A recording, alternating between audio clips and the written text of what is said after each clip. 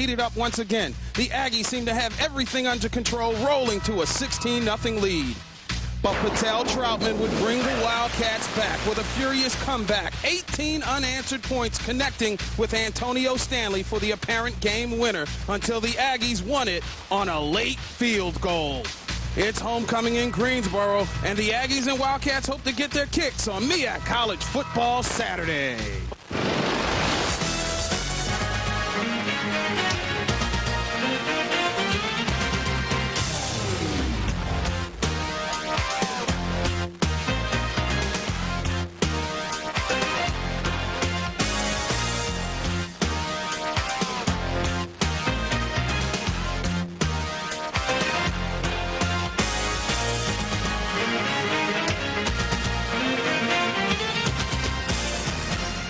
Ultimate reunion type setting. This homecoming in Greensboro, North Carolina, and everything is fine. I'm talking about Bethune-Cookman coming in here with a perfect 7-0 record, undefeated the MEAC at 4-0, taking on the Aggies of North Carolina A&T. All is on the line. The MEAC title, Division One AA playoff spot. Who'll get it? We'll see. Yes, they're tailgating. They're cooking up some great meals. They're rooting it on. But we've got a sizzling game, and we're ready for you because this game has put up a shutout, but it's also going to be off the hook. Hello, everybody. I'm Ronnie Duncan, and welcome to MEAC College Football Saturday. I've been waiting for this game. North Carolina A&T, 5 and 2, taking on Bethune-Cookman. Patel Troutman, a quarterback who can do it all. To tell you more about the game and to help me out about it, it's my man, Mark Gray. You talking about you've been looking for this game. You've been looking to get fed because I saw you before the game. Anyway, you're absolutely right, Ronnie. This is a tremendous football game. You know, normally you schedule teams that you can walk over for homecoming. This is a put-up or shut-up game for North Carolina A&T. Bethune-Cookman comes in feeling like they got disrespected a couple of years ago, and of course,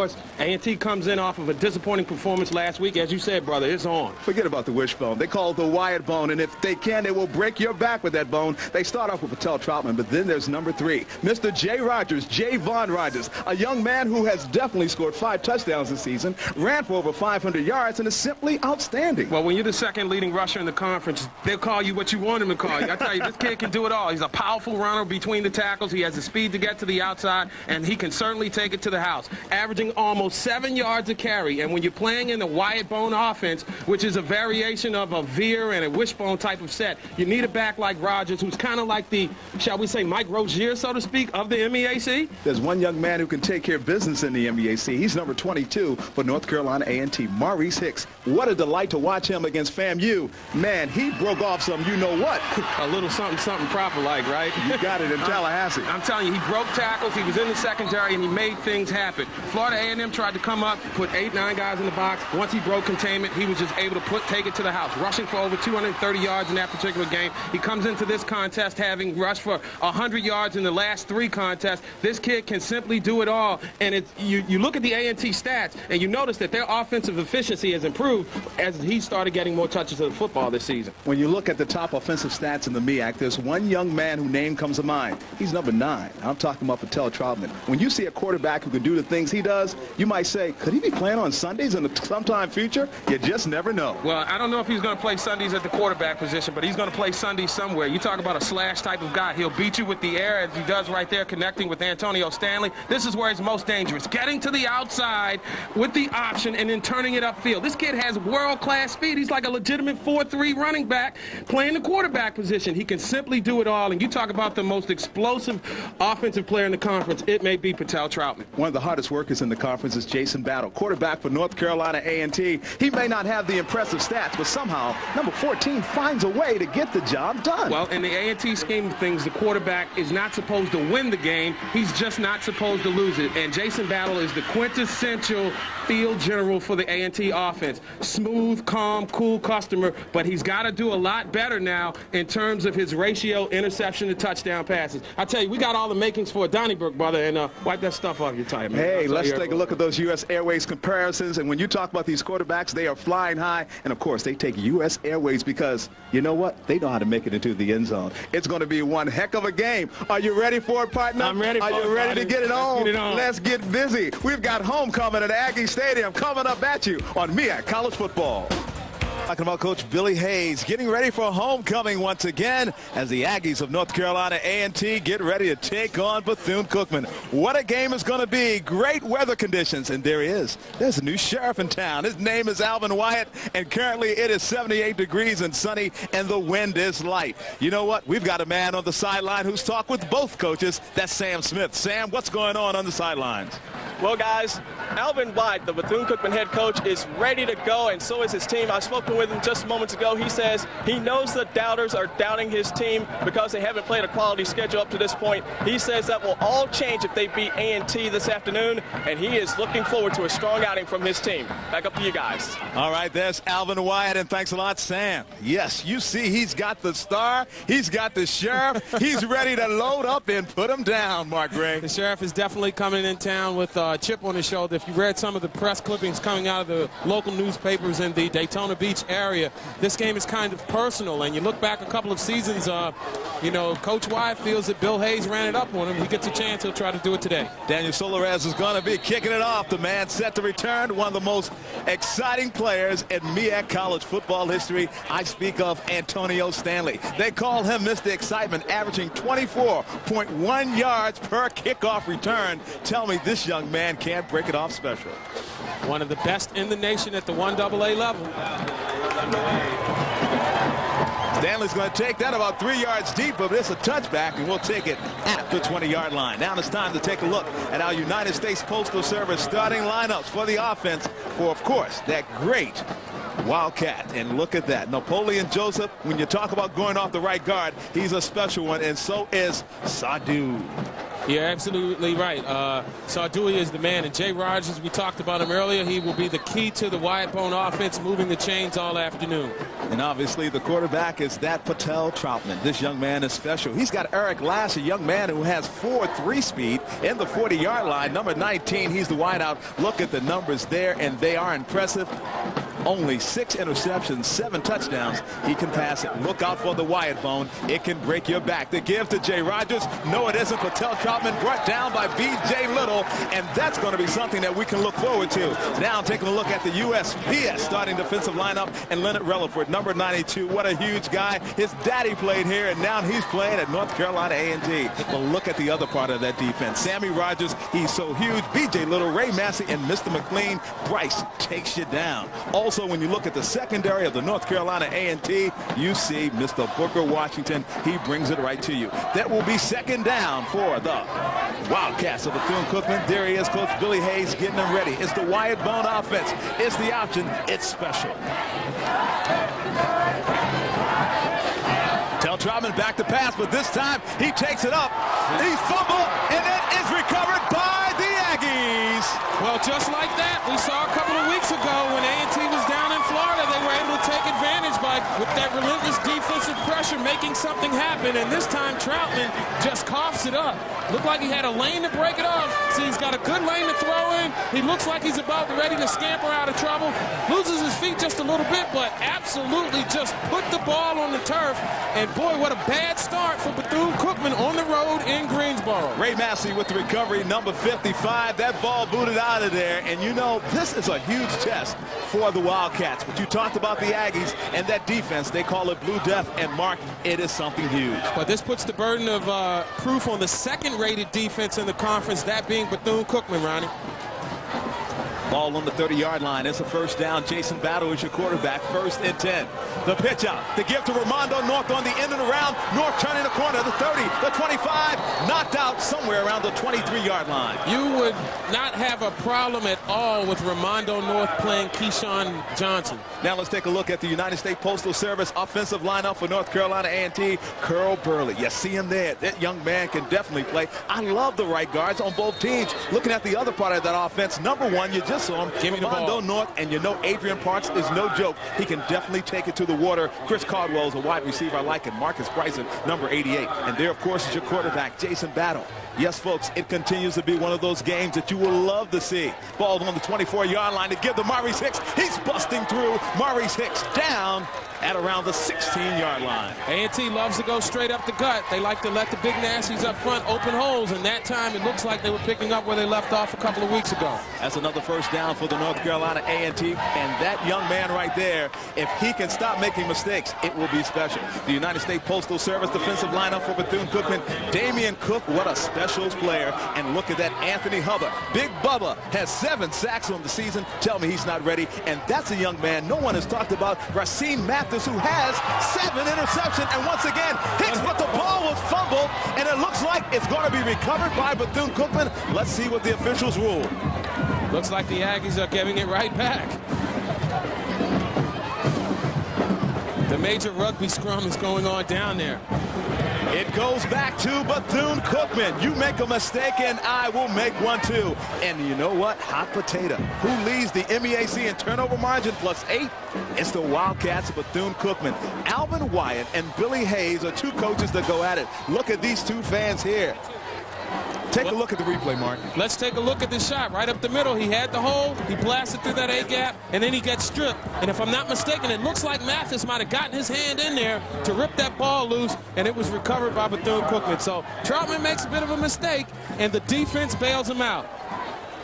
Josh Oglesby, the inside linebacker, with the recovery on that instance. And Ronnie, this dangerous offense. I think the offensive advantage clearly goes to the balance of Bethune-Cookman this afternoon. Remember, we're talking about two teams that are battling it out for the MEAC championship. Two teams that right now there are four teams with an eye on the prize, and that's the MEAC championship as well as the Division One Double A playoff spot.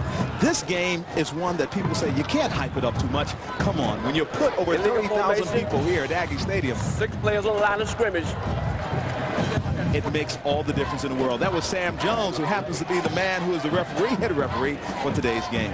Well, Bethune-Cookman, of the many great things that they do, are not the most disciplined team. They're the most penalized team in the MEAC, averaging about 10 penalties per contest. And in a game like this, we'll definitely have to keep a note on how many penalties they have on this afternoon. Well, you know, they're talking about backing that thing up, and right now, it's backed up to the two-yard line. Jay Rogers, what a very special player. Look at the numbers on him. 85 carries, 175 yards. He is averaging nearly seven yards per carry. And he is the guy that is going to be the one person that A&T has the key on aside from Troutman because primarily this team wants to keep the ball on the ground and slug you. Coach Bill Hayes talked about that yesterday. He said they're the type of team, you hit them in the mouth, they're going to hit you back. Ball's on the one-yard line. It will be a first and 14. There's a timeout of action. Oh, well, it's homecoming. It takes everybody a little bit of time to get the cobwebs out, Ronnie. Get the sleep out of your eyes. Take a look at these great standings and why this game is so important. You see Bethune-Cookman 4-0 in the conference, 7-0 overall. But this, Mark, let's face it, is their best test. And next weekend, they take on Hampton University, a game that we'll be doing right here on MEAC College Football Saturday. So once again, we got the comedy of errors going on run the 25-second clock.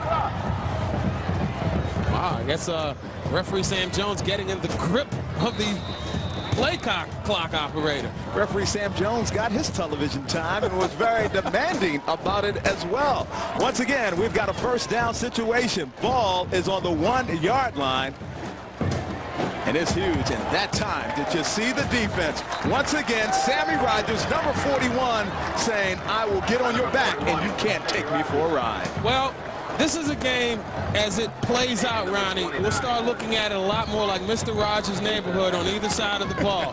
When Jay Rogers gets it, believe you me, Sammy Rogers will have the radar lock on him all afternoon. And that time, Rogers, man, I got to tell you something, man. I love the way this kid plays. He plays in that A&T formation, what they call a whip linebacker. So what that is, is a hybrid version of a safety and a linebacker. That Blue Death defense is pretty huge. And Mark, talk about the numbers we're seeing on the screen. Just an impressive defensive performance all season long, and it's been consistent, as we see right there. Once again, Ray Massey all over it. Number 55, getting it done. I'm telling you, the Blue Death defense scares you sometimes because they are so intimidating. Look at them, Mark. This is Massey playing off a block, filling that hole, and there's absolutely no surge at the point of attack. So as we've seen early on, at least in the early stages of this contest, up front against North Carolina A&T is almost immovable. And there's the sheriff looking to try to move some folks. Folks, you got to go out there and move some.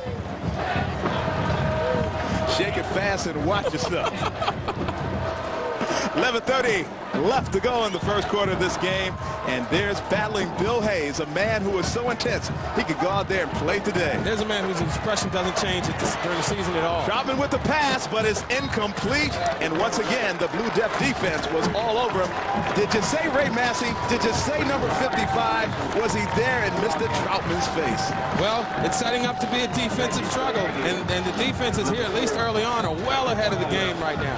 A&T's defense bails their offense now out. And now Caldwell will have an opportunity to give A&T great field position. Caldwell is going to be trying to spot this one somewhere inside the 40-yard line. I would say at around about the 38. And you talk about a young man who is something special. All right, doing the punting duties, Zach Adrian. Chris Caldwell at the 20. Caldwell turn it up, and it's MEAC you later.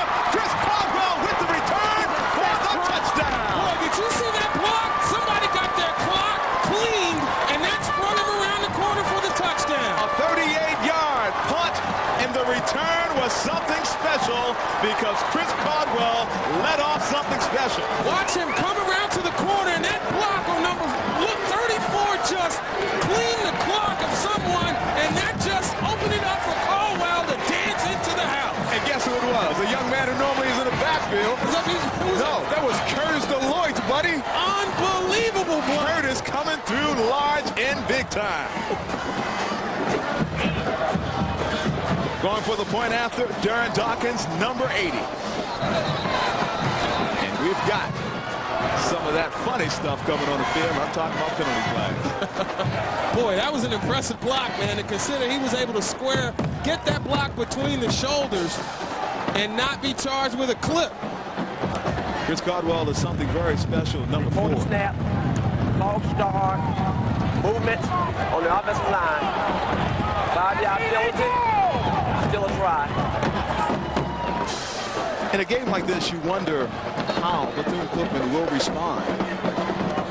And let's face it, they backed themselves up into a position that was going to hurt them regardless. Mm -hmm. And Bill Hayes was going to walk away from this possession with no more, no less, that is, than three points.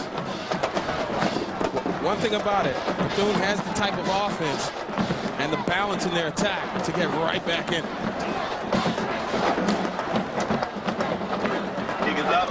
Kick is up, and the kick is good. It is 7-0. The Aggies are making their fans happy on Homecoming 2000. It's MEAC College Football 2000. Look at Caldwell with the MEA. See you later everybody, and yes, the band is getting pumped up, and why not? It's homecoming for the Aggies, and they have a 7-0 lead on Bethune-Cookman.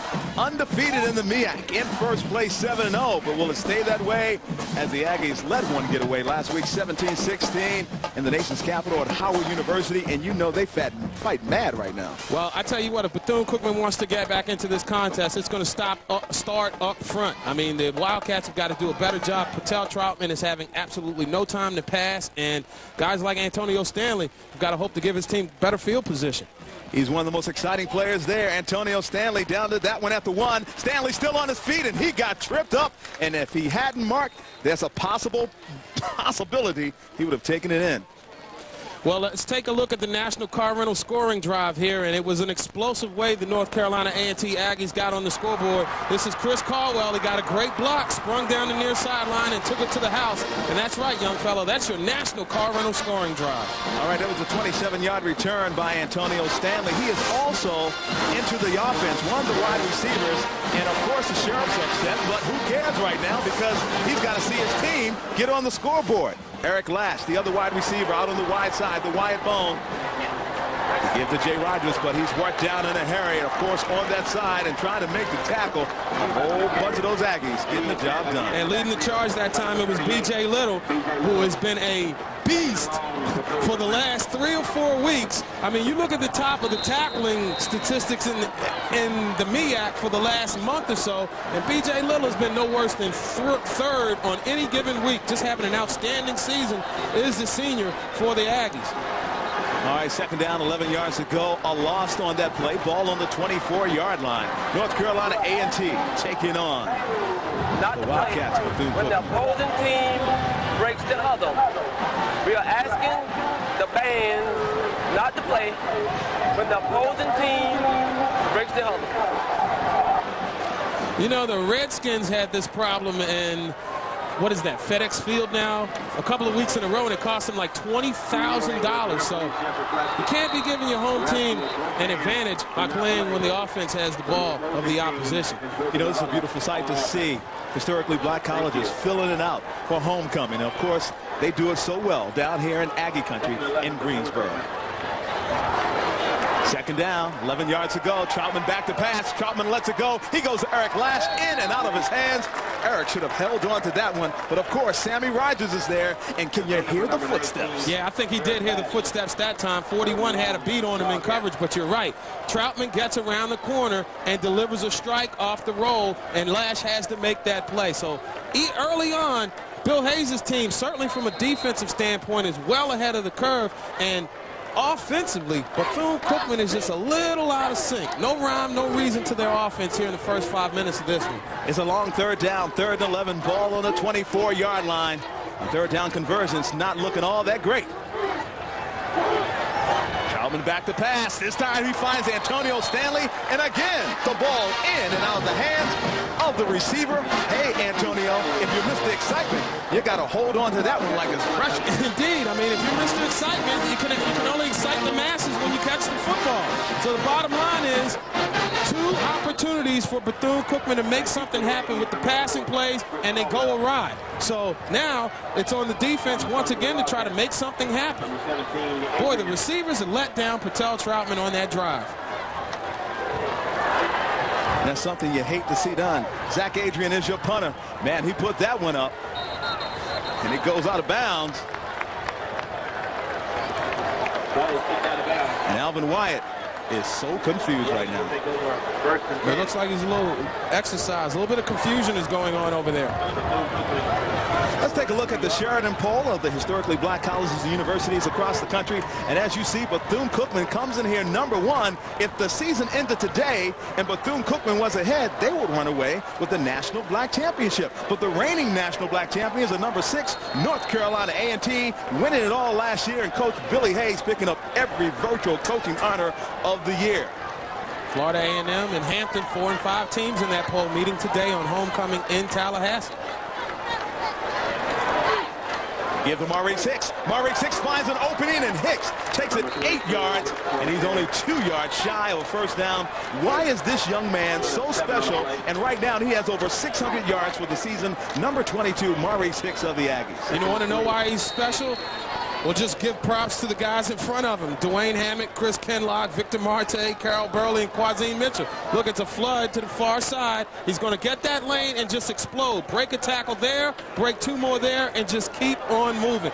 You got to love Hicks because the first tackler never seems to be able to bring him down. You got to like the attitude of the Aggies. When they put you down, they try to bury you. It's a second down, second and two. Ball on the 37-yard line. Battle back to pass. Battle looking, and he was looking for Caldwell, and he couldn't find him because you had some defense out there for the Wildcats of Bethune. Anthony Hubbard, the junior redshirt, who's got 45 tackles on the season, but 10 of them for loss, was back there in pass coverage to disrupt that play. And that has uh, brought a look of perplexity, shall we say, to Coach Bill Hayes. All right, it's third down. Now, a lot of people in, in, in Aggie land want North Carolina to throw, foot, throw the football a lot more. This is a third and short situation. They've been so effective running the football, which means they're set up to go long. Mondo North and Helton, and they were going for the short yardage, but this time Hicks wasn't able to pick it up. That'll put them in a punting situation for North Carolina A&T. And that's right. A&T will have to give up the ball. So a strange play call on third and two when you know you've got the second-rated defense in the league, especially against the run, stacking up nine against you. And that was that was one of those situations that hurt A&T last week at Howard, trying to run into the teeth of an 8-9 man front that was virtually immovable. Set back there to receive for the Wildcats. Uh, Racine Mathis. This young man is something special. 14.1 yards on each return.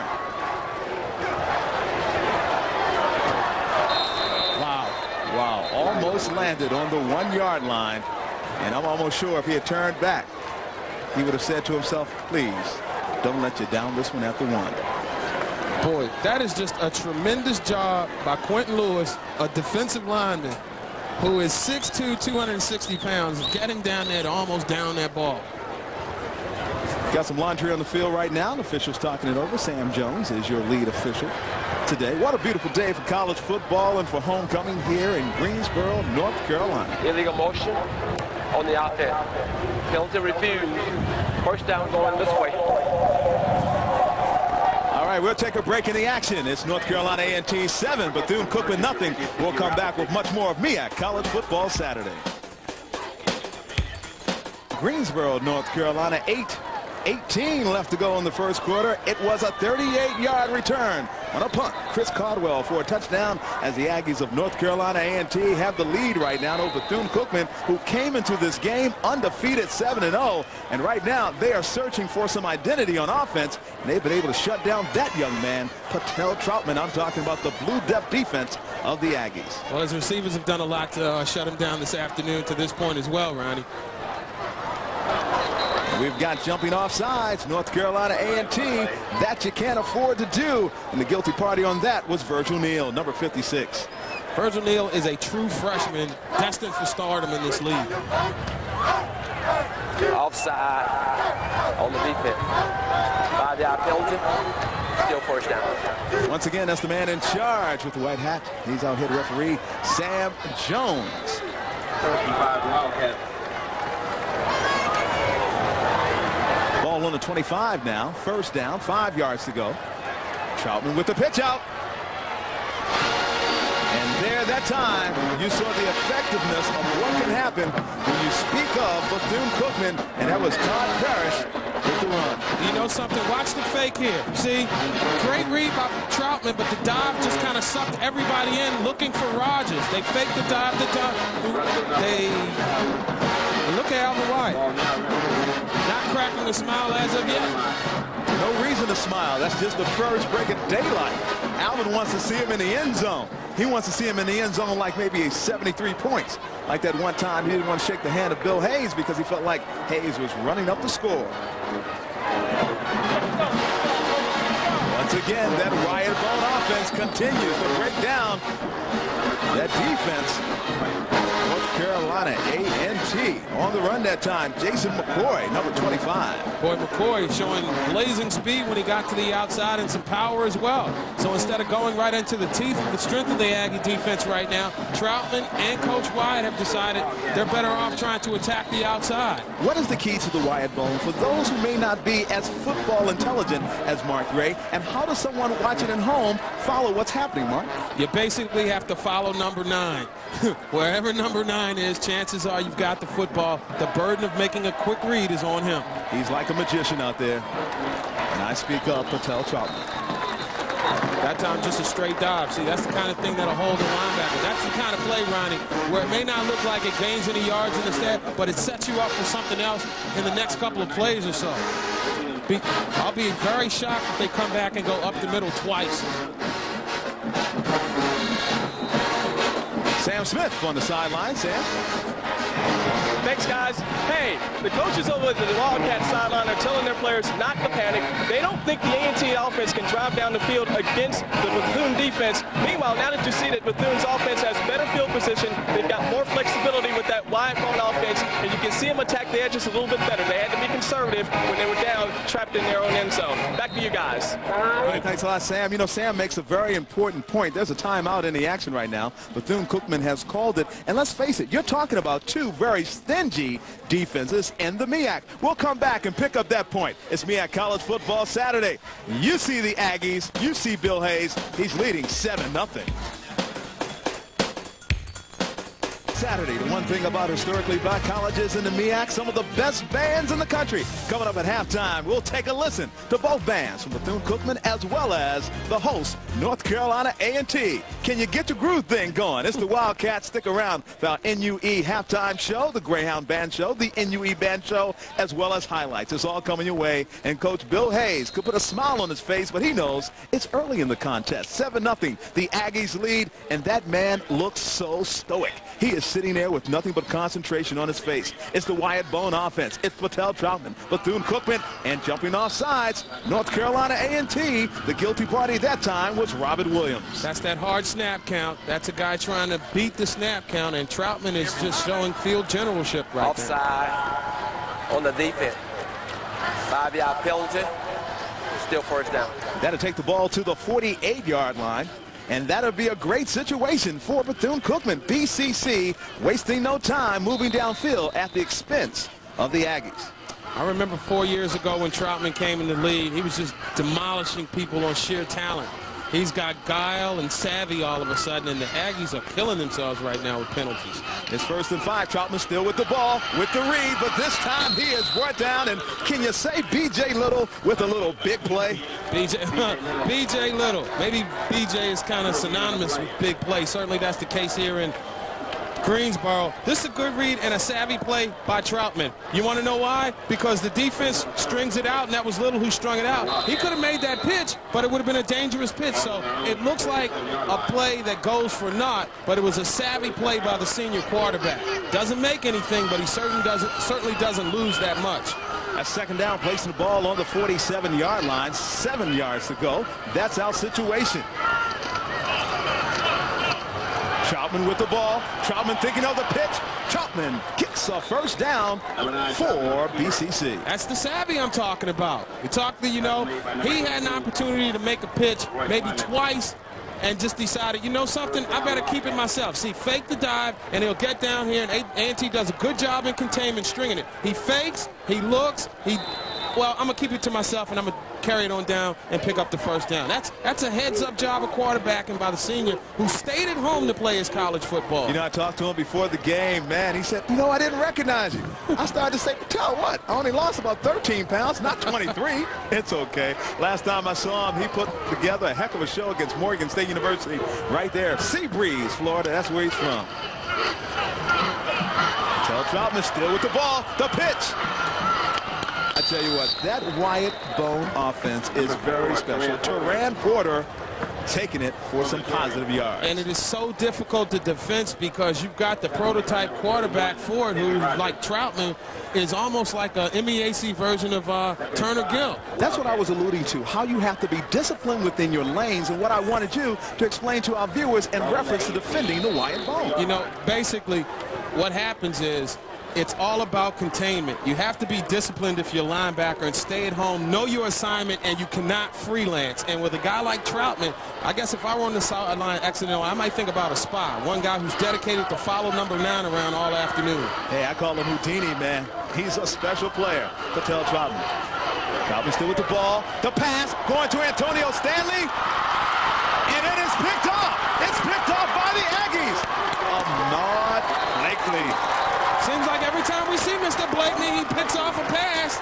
And he, he had a big pick against Florida A&M, and he comes through with a huge one. Now, as we talked about the savvy and the decision-making process of Patel Troutman, that was a bad decision right there. He threw into double coverage, and there was pressure on him, so he didn't get a whole lot on it. And the sheriff is seething right now. See, watch right here, Ronnie.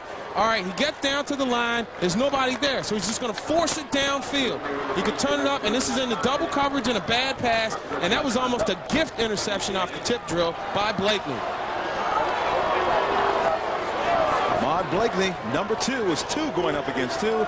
Going up against Antonio Stanley, the one deficiency you have with Stanley is his size. He's only 5'8", going up against a guy, Blakeney, who's 5'11", and you know who's going to win that battle on a jump ball. Well, in the first 10 minutes or so of this game, we've already had three turnovers, two by Bethune-Cookman, and, and interesting to note that the senior, the calming influence, the field general of the offense, is responsible for both of these interceptions early on.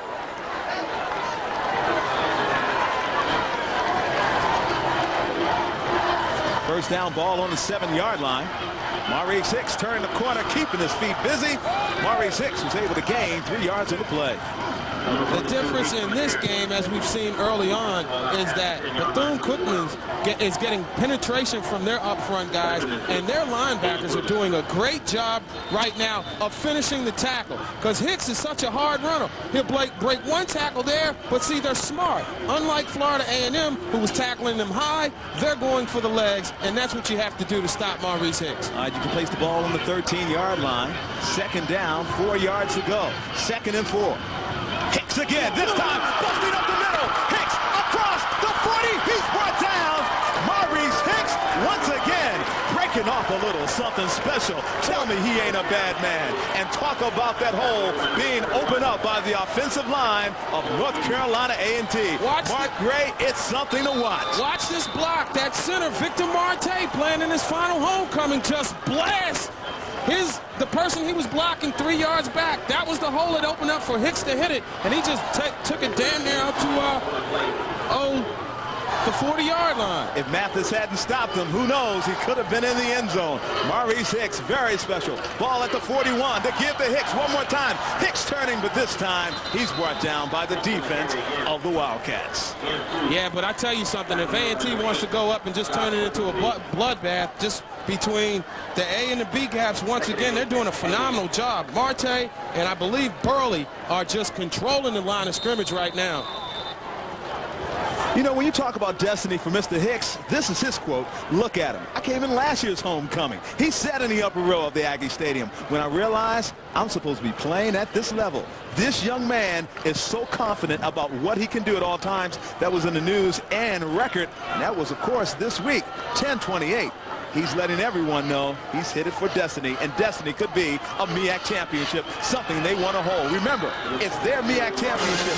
They are the defending champions. They are the national black champions of 1999, and they will give up nothing easily. A win over Bethune-Cookman today would speak volumes. Let's face it, Mark. 7-0, Bethune comes in here, chest out, sticking it out, saying we're bad, we're bold, we're coming in here, we're going to steal your soul. But the Aggies are saying, not in our house. Well, I tell you something. Quentin Lewis wasn't having at that time in the center of that Bethune-Cookman defensive front, playing off his block, sealing that hole, and stopping Hicks. Third down, seven yards to go. Ball on the 43-yard line. Battle, battle being flushed out of the pocket. Battle being taken down. Battle was battling for his life, and that time, man, he was mugged. Boy, he's lucky he didn't separate a shoulder or something that time because he got drilled in, right into the turf on his shoulder. And this is the leading sack attack in the MEAC now with 36 and a half after that one. And Bethune-Cookman is proving already that their front seven will get after the quarterback all day. Steve Baggs, number 52 on the sack. That's his eighth sack of the season. He leads the Wildcats in sacks. What a young man who is something special. A true freshman getting it done. That was Lash, of course, bringing it down. And it was a very short return, if any. And we've got some exciting football ball. We've got more than two minutes. Two minutes and one second left just before the second quarter. Taking a look at some other games. Well, you know what? They're playing one at Howard University. They got over 70,000 people, only 13,000 come and watch the game there. Delaware State, South Carolina State, FAMU, and Hampton University. And Morgan State is taking on Western Illinois. That's our target games of the day in the MEAC. We'll continue to update throughout the day with our target scoreboard. homecoming is definitely the order of the day in the MEAC. It's homecoming in Tallahassee and homecoming in D.C. as well as here in Greensboro. 45-yard punt that time. Josh Troutman with the read. He was trying to give it off, but that time he wasn't going anywhere. And anywhere he wasn't going fast because North Carolina A&T was right there. Troy Tyman. Look at that crowd. Isn't it huge? Isn't it beautiful? This is a great thing to see. Historically black university showing off his true colors. Homecoming, reunion type setting. Get an opportunity to rekindle those old relationships. Your friends near and dear, and you get a chance to say, we went to school together. Now, I'm know, so proud of everything you're doing there now. Are certain That's what I love about black universities and historically black colleges because when you have a homecoming, man, it is the best time around. And look at this, over 30,000 people at Aggie Stadium. Helping that time, finally giving it off, but too much of that defense for the Aggies sitting right there. And it was Arthur Wilson. A dis disciplined job of linebacking by the entire crew that time, keeping their assignments and keeping Troutman contained. And when you do that, that's a recipe for what we just saw. Jason, Nothing. Jason McCoy was the man with the ball. You saw him there, number 25. That'll be third and seven. He was able to pick up three yards on the play, if that.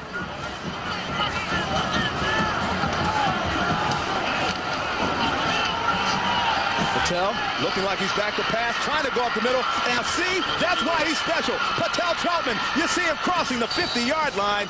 He's into Aggie territory. Patel Troutman brings the ball to the 47. It's discipline that time, and Patel Troutman takes advantage of the discipline in the A&T uh, defensive unit. Look, the linebackers have it in containment. They looking, expecting him to go outside, look on the option, but no, he turns it upfield, gets into the secondary, and this is where he's dangerous. Look at that move right there, and then he has a third jet where he can just scoot to the outside and outrun everybody. That's linebackers and secondary. That's why Patel Troutman, as you said, Ronnie, is a special player. For my money, the best all-around offensive weapon in the conference this year. A 27-yard gain for Patel Troutman on that one. First and 10 from the 47-yard line for the Bethune-Cookman Wildcats. Troutman gives it off, and once again, the Wyatt Bone, as I stated before, can break your back, and they are all that. That was Taji Parrish on the run, another first down for BCC. Well, Parrish takes advantage of the fact that the A&T middle of their defensive unit has to respect Jay Rogers going through the middle. Everybody bought the first fake into Rogers, and that just left no containment to the outside, and he's able to pick up another first down. So suddenly, you can start hearing that Wildcat offense getting cranked up. You know, they sputtered a little bit early on, had a couple of turnovers. Now they are beginning to click. First and 10 from the 35-yard line. BCC, the Wildcats on the move. Tell Troutman still with the ball. You see him moving there across the 30, the 30, 25. What a player. And, you know, people, we talk about Patel Troutman as a quarterback, and he took a shot. He's a little slow getting up that time. He knows that he's going to take punishment running the Wyatt Bone offense. But a young man who continues to impress you. They are so huge this year, and I speak of that offensive line. They are mobile, agile, and hostile. And I'm talking about BCC because you know what? You have to be that kind of offensive line because of so much movement going on. Well, let's take a look and see if we can find out what exactly happened. Sammy Rogers was the contained man, and it just looks like he might have banged his shoulder up just a little bit. And here comes Coach Wyatt over there right now, and that would be a devastating loss for the Wildcats. When you talk about you know, being the key to an offense. Troutman comes in this game number two in total offense, averaging almost 95 yards per game rushing, and he's uh, leading the team in rushing with 660 yards, and that has the offensive brain trust uh, concern right now, but hopefully Patel Troutman, for Bethune's sake and the sake of us, he'll be uh, around for the balance of this game. Well, he's going back to the sidelines right now with his coach. They're going to talk things over. And how would you like to be the second string quarterback coming into Greensboro on homecoming?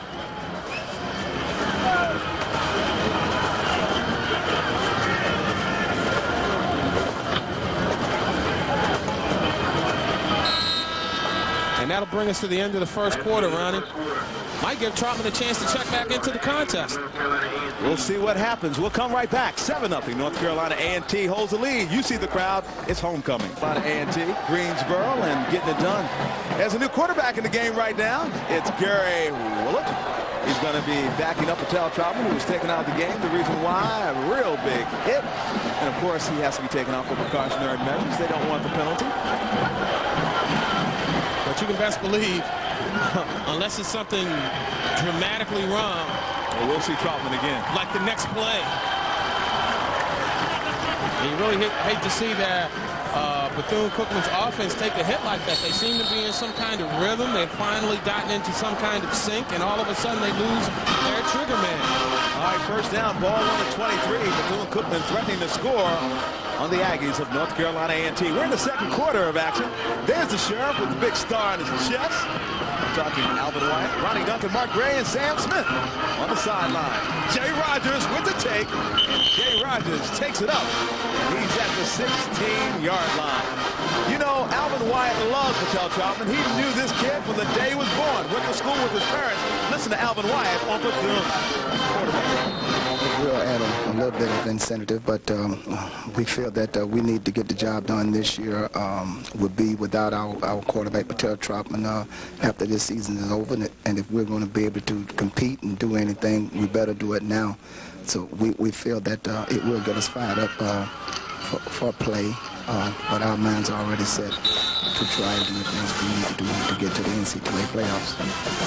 All right, Coach Alvin Wyatt, and that was Jay Vaughn Rogers, young man who came to the game with 575 yards. Troutman on the sideline, man. You know, Mark, you said it best it appeared that he really hurt himself with his shoulder, and that one side of his body just doesn't seem to be reacting the way that he wants. And right now, it's going to go to Jay Rogers as the young man that can bring them through. Now let's take a look at Al Xerox first quarter stats. Mark Gray, take over the honors. Well, as you can see, Bethune-Cookman was able to jumpstart the rushing game, got absolutely nothing out of the passing game. A&T definitely getting the job done on the ground. Rogers still on his feet. Jay Rogers getting pushed forward inside the 10-yard line. Stopped at about the 8-yard line. And despite the fact that Troutman is on the sideline, guess what? Bethune-Cookman is still moving the football. And you want to know why? Because they've simplified the offense and just letting the big nasties get up front, and they are just out-physical in A&T at this point right now guys are getting blasted at the point of attack, and that's allowing the guy we talked about at the beginning of the show, Jay Rogers, to do his thing, and he is certainly doing it now. It's another first down, first and goal. Jay Rogers, but this time, Leonard Relaford said, you're going nowhere in my house. Boy, Relaford is qu cat quick for a guy his size. I mean, he is a dominant defensive player.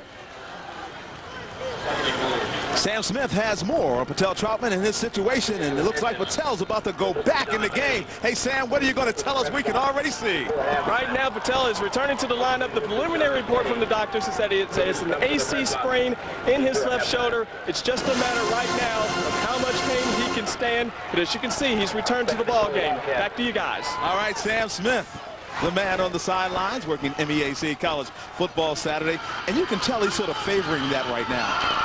Patel, and this time he's favoring it. And guess what? He became a favorite of the Aggies. Getting in there for the tackle, Isaac Jackson. And Inside linebacker, and Patel is hurting. Yeah, he took a shot. Yeah, Coach Wyatt is definitely going to have to uh, go to the training staff and, uh, you know, uh, rethink this position right now.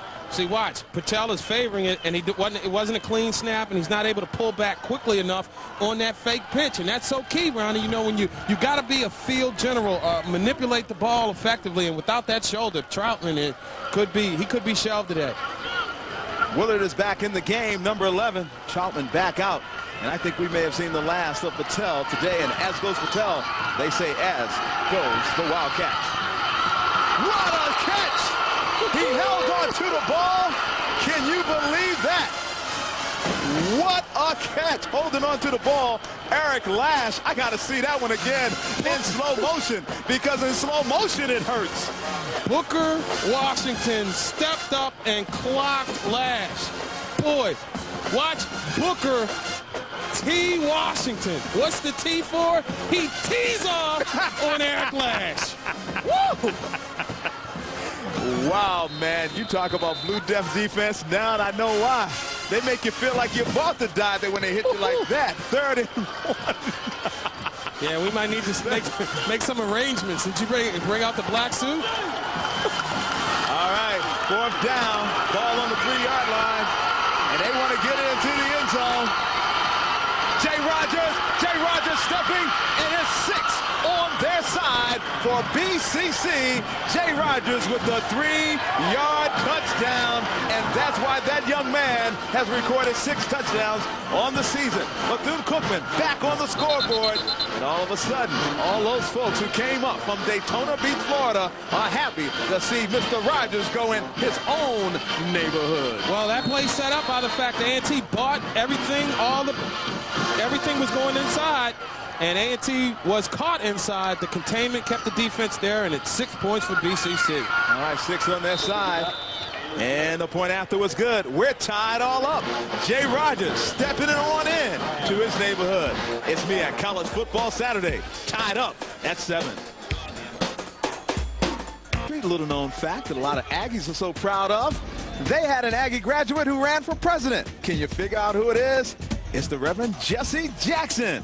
That's the right, the founder of PUSH, civil rights leader throughout the country and a proud graduate of North Carolina A&T.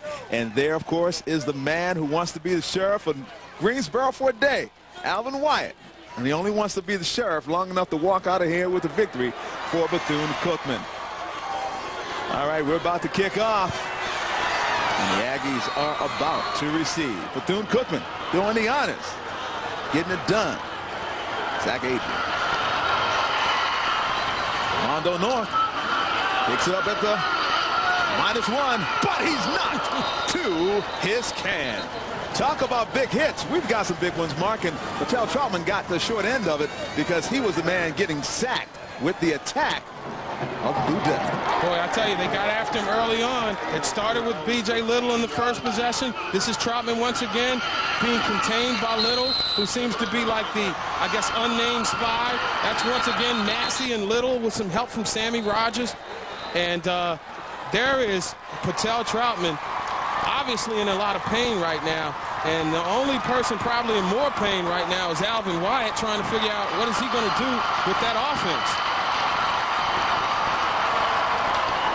They've developed a special relationship over the years. A lot of people may not know the story if you're not from Daytona Beach and don't follow Bethune-Cookman, but Alvin Wyatt actually went to school with Patel Troutman's mother and father. Yes, they're starting to wave here. They finally in got it right. North Carolina. Oh, man, they get it right here all the time. Look. Give them credit where credit Hey, is due. It just takes some During that break, it was, it was that was not a wave we were I looking at. It can't talk like, about what people can't see at home. I can only show them the what happens I've when got. you throw the uh, the pebble in the water. That's Doesn't what make we a had difference, early. Mark. They got the wave going down, and it's a wave with some rhythm. Tell you what, BCC is showing some defense, Well, I tell warming all over the ball. That was, of course, Hicks on the carry, and he went nowhere real fast. three yards in a cloud of dust is not going to get it against the Bethune-Cookman defense this afternoon. And A&T is going to have to be, do a better job of mixing up their play calls. You're going to have to take advantage of a guy like Ramondo North. I'm just wondering, how can a guy be averaging 26.8 yards per reception and only have like eight receptions for the season? This is the kind of game where a guy like number one wearing gold has to step up and at least get some touches in this game. They're down, four yards to go, ball on the 23-yard line. And it's battle for first down for North Carolina A&T. This one may be coming back, though. We've, we've got a flag thrown in the area that it's normally thrown by an, uh, uh, the referee, and it's holding against the Aggies. So that just mars a tremendous individual effort by Battle, who was stopped, got out of it, and then picked up a first down. Look at this effort. Fake the dive to Hicks. He is stopped. Hubbard had him, Holding. then he didn't. 10 yard penalty. Still third down.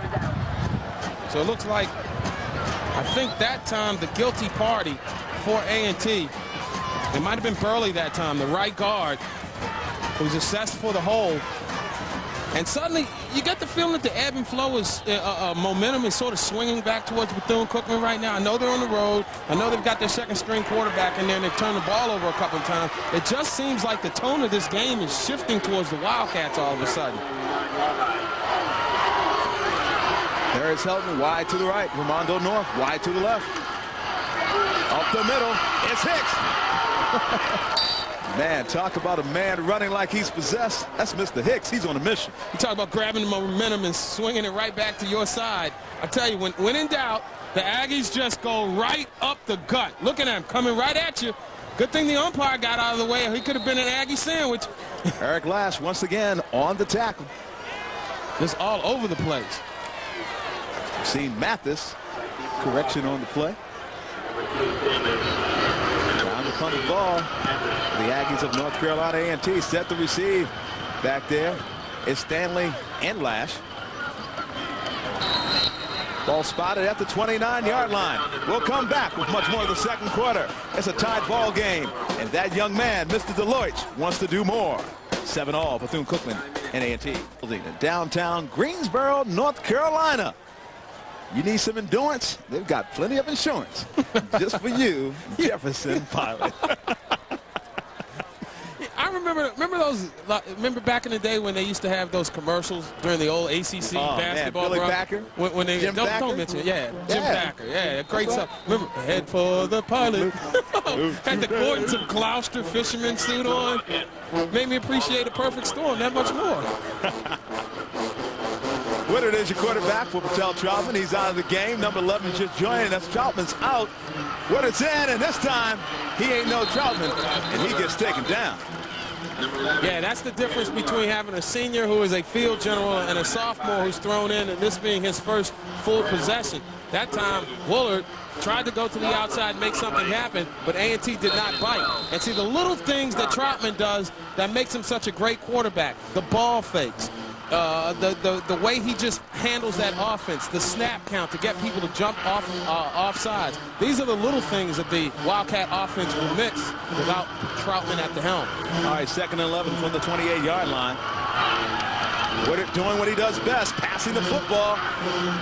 Not enough for a first down. But they take it to the 34-yard line. But you see, I like that because that's just as effective as any run play that you want, that you run. Taj Parrish on the reception. Because see that what that do is that'll soften the, that that'll soften the linebackers just a little bit. They'll drop a little bit deeper and they'll open up some run lanes to the inside. Short passes are just as effective as good runs. They keep the defense off balance and they will force them to read and react. Third down, ball on the 34-yard line. That's the situation. Five yards to go for a first down for BCC. Willard drops back. Willard under trouble. Willard is brought down on the tackle that time for the Aggies of North Carolina A&T. Robert Williams. And see, that's the difference between a sophomore thinking and trying to make a decision and a senior just doing it. And that time, you know, there was a little hitch in the giddy up of Willard, basically because he was trying to read. And it took him a half second to react. Couldn't get the pass off. Now Bethune has the punt. Punting for Bethune-Cookman will be Danny Mathis, one of the best punters in the MEAC this year. Obviously, Frank Ziegler of South Carolina State, one of the best in the country. Fake punt, and he ain't faking out nobody. Once again, Aggies coming through big time. Dwayne Fisher snipped out the fake. And Coach Wyatt is sniffing out his special teams unit for frankly blowing that play. Wow, tried to take a little bit of advantage, uh, uh, take advantage, I should say, of uh, A&T setting up for the kick return. And this time, Mr. Burke is getting an earful. He tried to get to the outside, but there's not a punter in America that's going to outrun the quickness of the Aggie defense. And, and a golden opportunity for the A&T offense. New, new, new quarterback for A&T, Keith Matkins. First down for the Aggies. And of course, that was Maurice Hicks. Matkins is of the two-headed monster at quarterback here in Greensboro, the better passer. And there are a lot of people around here that will tell you they would like to see him get more opportunities. That was one of the big debates during all the tailgating going on outside is who should be starting at quarterback. The people who like to run, uh, the people who like the run-oriented offense. This is Hicks right here. Now watch him. Just taking a, a shot and then bouncing off and exploding into the secondary. He is explosive. He is the bomb. and that was against FAMU a few weeks back, and he ran for over 236 yards. But the point I wanted to make about the quarterback situation here, though, Ronnie, is that, you know, there's a lot of people that want to see Bill Hayes open up the offense, and when he does open up the offense, Matkins is the one who is the more polished passer. You have a significant contingent here who would like to see the air Aggie attack.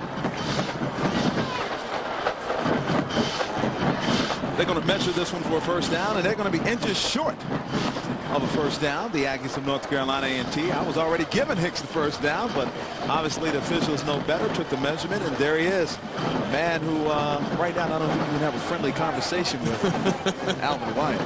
You know, I think he's a little steamed right now.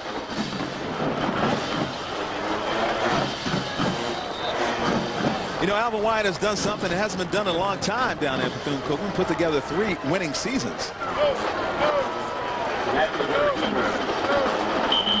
Depending upon the spot, whether or not the surge was enough, it might not be a first down. Definitely opting not to try to cross the defense up with that call. Let's just pound it right on into the center of the second-rated rush defense. Sam Smith with more on Patel Troutman. Sam? Thanks, guys. Patel Troutman will miss the remainder of the first half with that left shoulder sprain, the ACL. His return to the game is questionable. They're going to take him to the dressing room, see how he responds to treatment at the half, and then make a determination on when or if he will return to the game.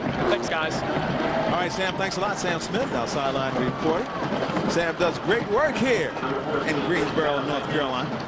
Got an opportunity to see him on the air last night. That was Dominic Williams, number 20.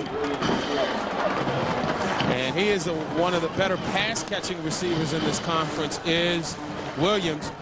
You'll see him a lot in the passing game when they try to swing the ball out into the flats to the receivers. Now, Battle has checked back into the game at the quarterback position. So I guess we've got these situation substitutions at the uh, quarterback position for A&T right now. Sam just corrected himself. It's an AC sprain for Patel. We'll see what happens at halftime as to whether or not after treatment, as Sam alluded to, whether or not Patel will be back in the game. One guy who got backed up, that was Mr. Hicks, doing the damage. Boy, did you see him come in.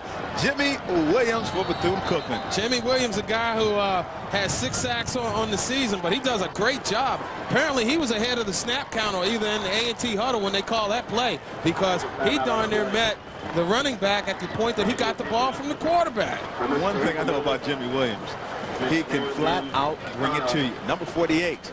Jimmy Williams, Bethune-Cookman. We got a player down on the sideline right now, and I can't make out exactly who it is. And you got to like a guy like Jimmy Williams who gets it right. He spells it with two M's instead of one, not like the Red Sox manager. I always, you know, working in Atlanta, I'm like, Jimmy, where's the other M, man? Anthony Nobles is on the sideline hurt. We'll come back with more. Field, he goes hurt on the play, number 76. He's a senior, 350 pounds, and he's 6'7", and he doesn't appear to be walking like he's walking for joy. We hope that he's able to come back into the game. Could have been a knee injury, and you see him right there. The big fella looked like he was turning awkwardly. Those are the pains and the bruises that you suffer in college football. Boy, I tell you, man, this game is suddenly becoming a war of attrition. And bodies are falling. We, we expected to have a good old-fashioned war, and folks are dropping quickly. A physical game this afternoon, but you kind of expected it. Two defensive, physical, run-oriented teams. Yeah, there are going to be some casualties. Third and 10. Big third down for the Aggies of North Carolina A&T. Battle. Trying to find a spot, but this time he ain't going nowhere. Rashean Mathis on the takedown. Coming up from a safety position and making a one-on-one -on -one arm tackle and hauling Battle down high. That's just a great play. Defensive back just coming up and run support. Watch this right here. It's an individual play. If the DB, Mathis, does not make this play, it's a first down, if not more. Got a beat on him, goes up high, hauls him down. Great play. Exceptional speed for a young man who leads the nation with nine interception, Rashean Mathis. Darren Dawkins going for the field goal. The kick is up. Signal is good. North Carolina A&T, a 31-yard field goal. Dawkins will come back. The Aggies lead it now 10 to 7. As Patel He's hurt, but you never know. He's Houdini. He come back in this game. You see the shot there. MEAC College Football Saturday. Ronnie Duncan, Mark Gray, Sam Smith bringing you all the action. Here's our National Car Rental scoring drive. Six plays, two minutes, 29 seconds. 34-yard field goal by Darren Dawkins. That's our National Car Rental scoring drive. Remember, green means go with National Car Rental. Call 1-800-CAR-RENT or book online at www.nationalcar.com. That was Solares with the kickoff. And that's Antonio Stanley. Stanley is on the move. He has only one man to beat. Antonio Stanley at the 30. Stanley at the 20. Stanley pushed out of bounds inside 15, but there's a flag on the play. I'm just anxious to see whether there was a clip if somebody from Bethune-Cookman blocked somebody from A&T in the back because there was a seal and a hole, and Stanley hit it, and at about the 30-yard line, he was gone. Look at this seal, and he just hit the Jets and exploded. There was one man to beat, the kicker, Solares, who does a good job of buying time for the rest of the containment to get there, but I think this one is coming back. So a marvelous kickoff return by Antonio Stanley goes for naught. It's too bad they call him Mr. Excitement. Alvin Wyatt thought perhaps he was going to get back on the scoreboard Offensive call with Antonio Stanley. Doing the return on the receiving team. 10-yard penalty, first down. But again, it just goes back to the fact that Bethune-Cookman is the most penalized team in the MEAC, averaging 10 penalties per game, and this one comes up and bites the sheriff once again. See, you talk about Bethune-Cookman being the most penalized team. You talk about the attitude, the brashness that they have. Well, Alvin Wyatt played great football while he was at Bethune-Cookman. Who do you think he got drafted by? The Raiders. The Oakland Raiders, the most penalized team in the NFL. Here we got it again, Antonio Stanley, and uh, you see him there, Alvin Wyatt. Attitude with a star on his chest. You got to have an edge to roll with a star on your chest. You know everybody's out to get you. There's a new sheriff in town, and his name is Alvin Wyatt. You gotta be cool. He'll lock you up. Hey, put me on lockdown. But you know what? Living in Daytona Beach ain't bad. if I gotta be on lockdown, I might as well be on lockdown in the beach. and another piece of laundry on the turf, which has Coach Wyatt exercised once again. Alvin Wyatt, one of the more colorful characters in the MEAC, and I tell you what, he is a joy really to be around. Sure he, he loves his kids. He's put together so much fire and so much spirit down there in Daytona Beach, Florida, and that's what I like about it because there is commitment from him. He is a penalty, first down.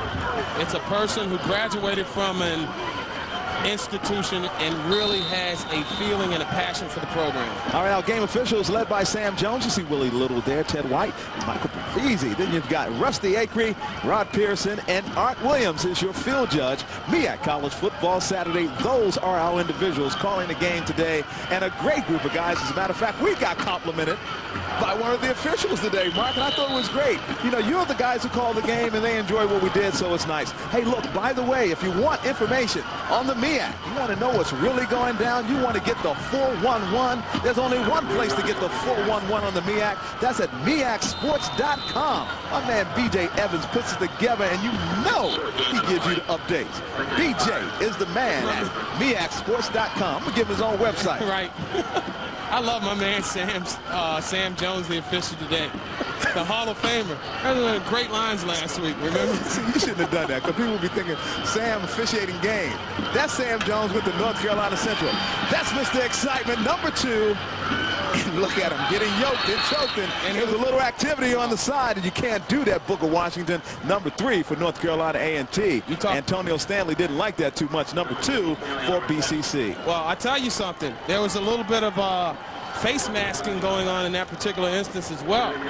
I think it was a tackle up high. Let's take a look. Great shot, guys. Yep. Booker Washington, well, that was kind of close. I think he got him around high, and it may have looked like he grabbed the face mask. Personal foul. Mm, 15. Face mask on the defense. 15-yard penalty, first down. Wow, all right, Sam Jones putting it down, 15-yard penalty.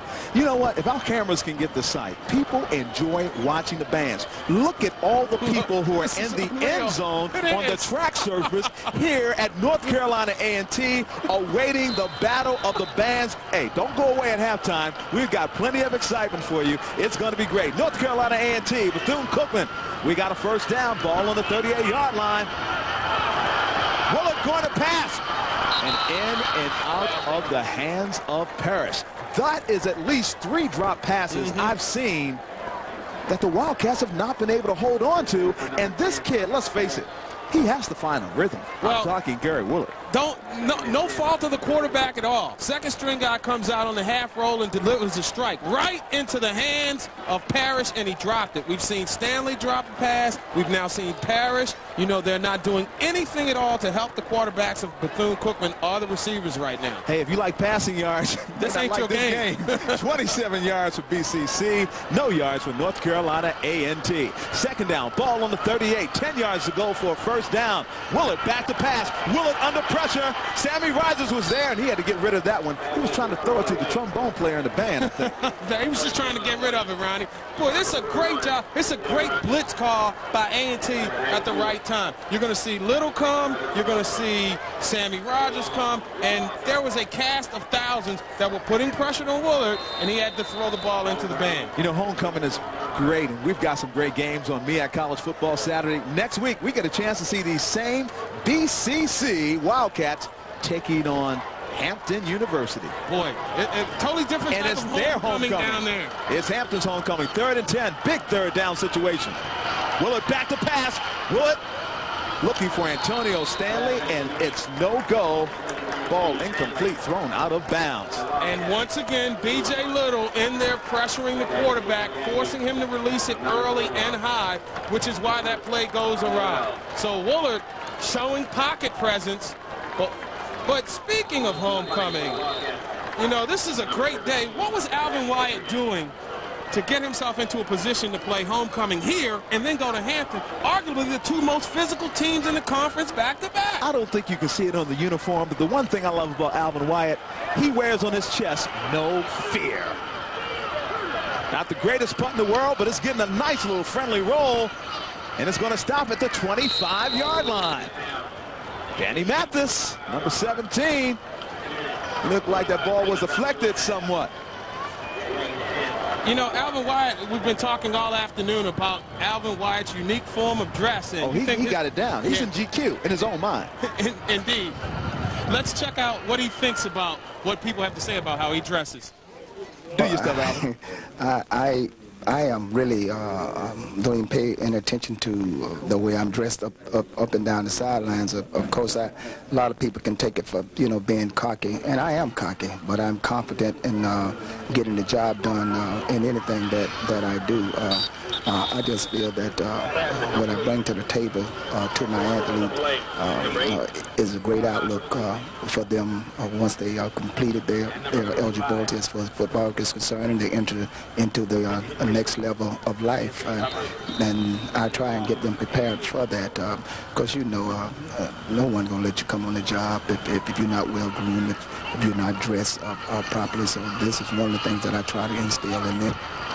Alvin Wyatt rolling with the new flavor of fashion on the coaching sidelines. Well, you got to be a bad man to coach with crocodile boots on the sidelines in Daytona. Now, you got to have attitude attitude, a winning attitude, that of Alvin Wyatt. He's perhaps one of the more colorful oh, characters sure in MEAC college football. And there boots. are the boots.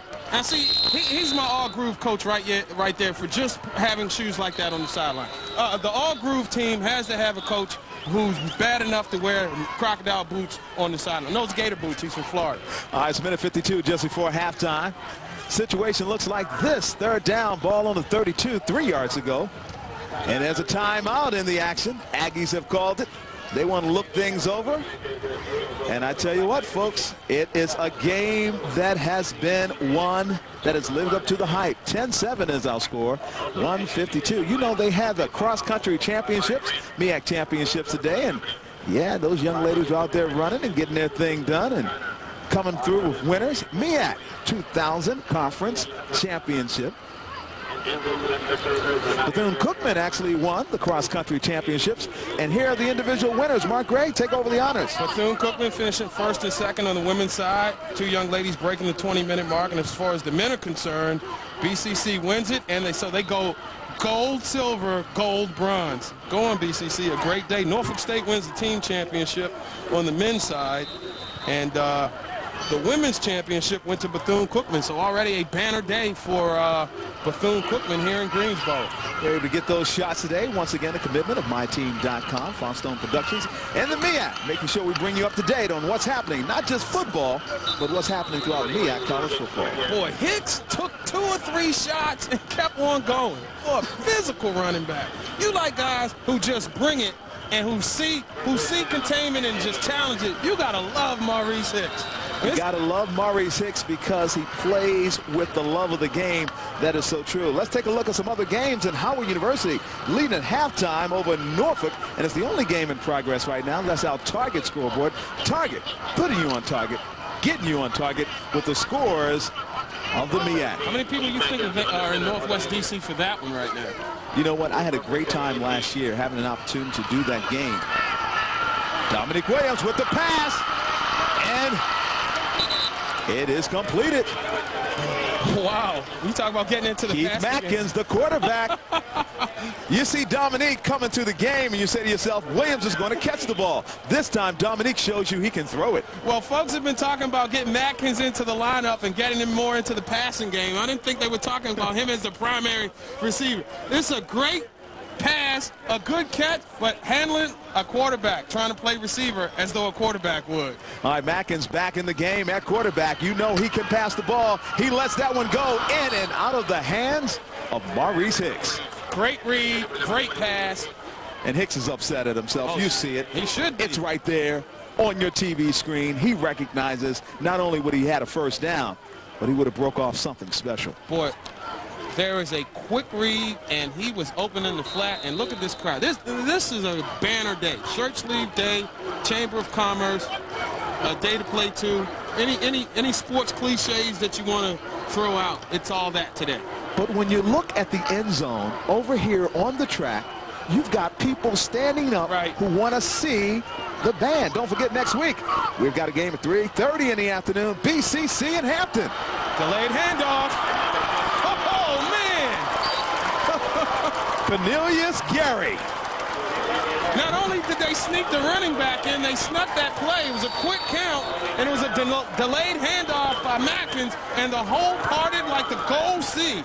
Boy, he just blasted into the secondary, and now inside a minute to go, the Aggies have to burn a timeout. 48 seconds to go before halftime. Aggies lead at 10 to 7. MEAC College Football Saturday. It's been fun. It's been exciting. And now let's take a look at our MEAC Players of the Week. You see Mr. Cash. You see Tracy White, Defensive Player of the Week. How about James McCall, the offensive. And look at Leon McCampbell, the Rookie of the Week, South Carolina State, 12 of 27, 151 yards, and four touchdowns. The MEAC Players of the Week. Some exciting young men.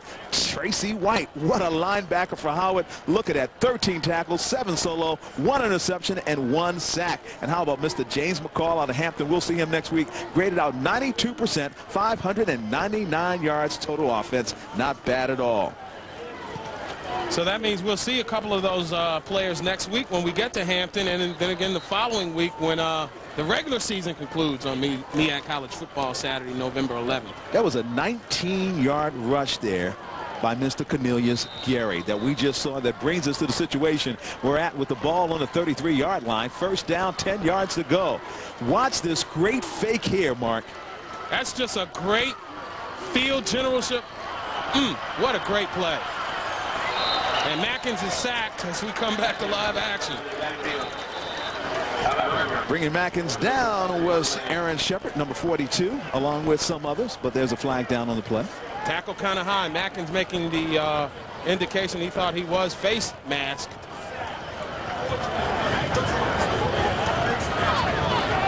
Forty-one seconds to go just before halftime, and the penalty is indeed against Bethune-Cookman. And they continue to mount. And Coach Wyatt is trying to get some kind of clarification. I think he wants a timeout to put a bug in the officials Personal here. foul, face man on the defense. 15-yard penalty, first down. And that is a huge 15-yard penalty. The ball was on the 33-yard line. And that means the officials will bring it all the way down to the 17. Boy, he is way out there on the field. He wants. He, he tried to get a timeout and had to. Now, now he wants to talk to coach, well, the referee Sam Jones. Boy, to be a fly on the shoulder in that conversation right now. Now, see, that's one time where I want the microphone to be turned on. of course. hey, Sam. Let me talk to you about some property investments. And then we take a look at North Carolina A&T's Greyhound Quick Facts. Founded in 1891, 7,500 students strong, as we've been mentioning, known as the Aggies, colors of blue and gold. One of the charter members of our illustrious conference, joining in 1970. One of the charter members, you got it. When it was all put together, the Aggies of North Carolina A&T were there.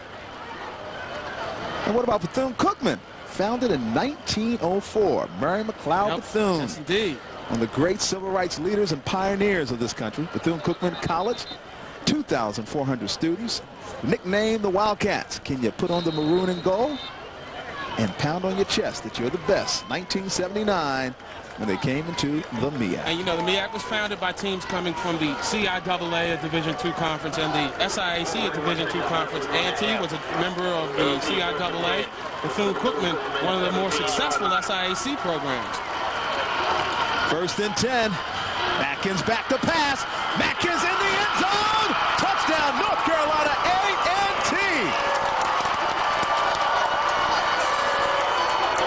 So Damian Phillips. Damian Phillips on touchdown. Matkins sets right in the pocket with his former high school teammate, hitting him on the post route in the end zone, and that's something that they're used to doing down in West Charlotte. Number 17. Wow, number 12 gets a 17-yard touchdown from Matkins. You said he had a gun, Mark. We saw him load it up and shoot. That's a slight adjustment between a quarterback and a receiver that's been playing a lot of street ball together for a long time. Dawkins with the extra point. And it's no good. It's 16-7. North Carolina A&T has the lead. 35 seconds left before halftime. And Mark, well, tell me about it. Side, side adjustment. Quarterback just sets in the pocket and he splits the secondary, and that's a strike. Well, I tell you, you talk about threading the needle, and Phillips just climbed the ladder to bring it in. And there, there's some celebrating for you. Throwing it to the band. And homecoming is a day where you embrace everybody.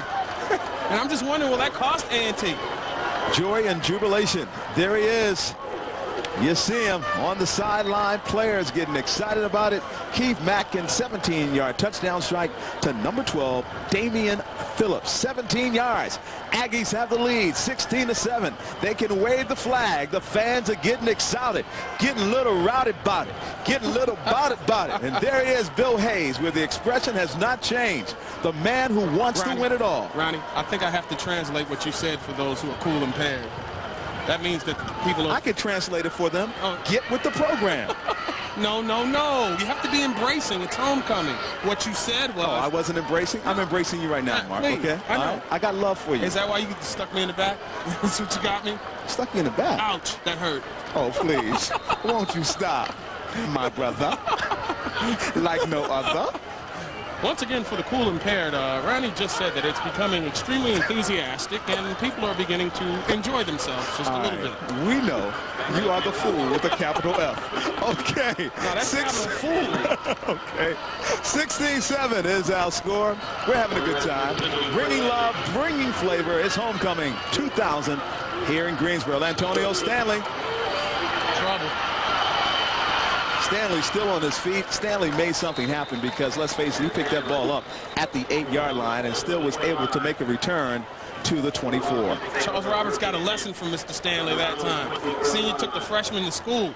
And now, Coach Wyatt, you know he's an aggressive personality. You know he's the type of guy that likes to live on the edge and take chances. With 23 seconds to go, look for Woolard to start attacking downfield. And it's time for the Stanleys and the Lashes of the world to step up and make plays. The one thing that Bethune-Cookman will not do is go down easy. Let's no. face it, this is a team that is 7-0. They have come from behind. Guess what? Another quarterback has come into the game for Bethune-Cookman. Alan Suber, third string quarterback. A freshman. Let's see what happens here. A redshirt freshman, Alan Suber. And he executed all right. He just downed the ball to one knee. You just could never take Bethune-Cookman and think they're going to just go down to a knee immediately. They wanted to see what the defense was going to do as far as the reaction was concerned. That will do it. That will be our halftime score. We've got the NUE band show coming your way, followed by halftime highlights, and then, of course, the Greyhound band show. It is 16 to 7. The North Carolina A&T Aggies with the lead at homecoming, and we've got a halftime show that you don't want to miss. One guy who has to be happy with what's been happening right now It's Bill Hayes, who's standing down with Al, Mr. Smith. Thanks, guys. Bill Hayes, you got to be happy with the effort your team put together in the first half, a strong effort. Well, special teams have been big for us. Uh, got a punt return and several Harrys, so I'm real pleased with our special teams. Uh, and then Keith Mackens went in and threw a big touchdown pass, and that was that, that, that, that was great. You know, our defense has been playing really well. Uh, Troutman will probably be back in the second half, though, and he poses a whole different problem. What adjustments do you make at the halftime break? Well, we want to throw the ball deep a lot more. Uh, we, that's what we plan to do, and so we want to do that. We want to try to loosen that secondary up. They're playing a lot of man by throwing the ball deep and uh, uh keep doing what we're doing on defense. Coach Bill Hayes, thank you very much. He's got to be happy with the way his Aggies have played in the first half, guys. It's 16-7 A&T at the break. Back to you. All right, Sam Smith, we appreciate it so much. We've got a band show coming your way. It's MEAC College Football Saturday. Aggies leading 16-7.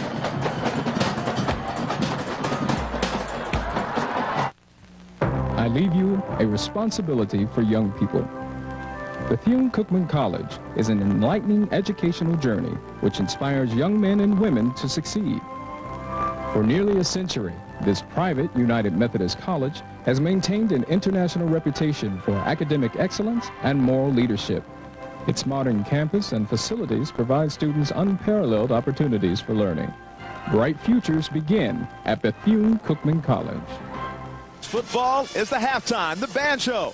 Coming up, it's the marching pride of the Wildcats, Bethune-Cookman's marching band. And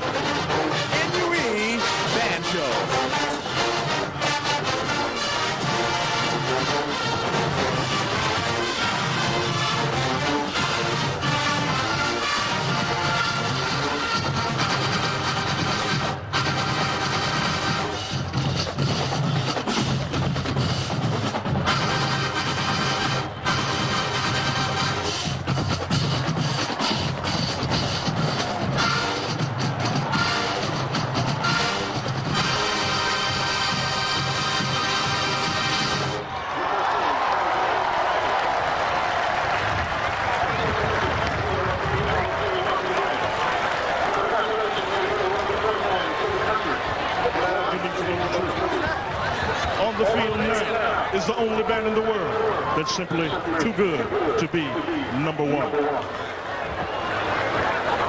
Think about it as the band plays. Congratulations.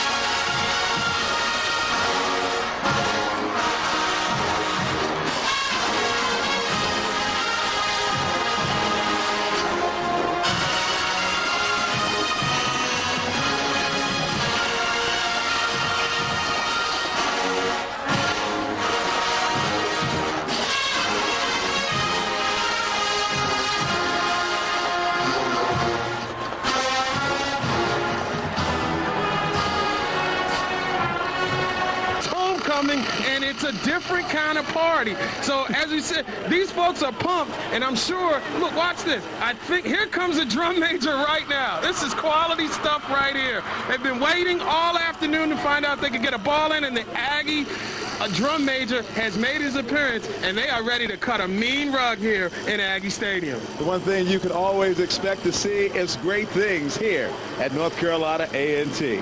Talk about halftime. It is 16 to 7. The Aggies are lifting off. Will they lift off and win it all? We'll find out much more when Al Greyhound halftime show comes back with the Greyhound Band Show next on MEAC College Football Saturday. That magnificent interface between the strong liberal arts tradition and the high-tech mode to produce the place where dreamers become achievers, from astronauts to presidents. Carolina A&T State University, where the best get better. And we're back 16-7. It's homecoming. Now it's time for the Greyhound portion of our band show. And yes, it's time for the Aggies to take center stage.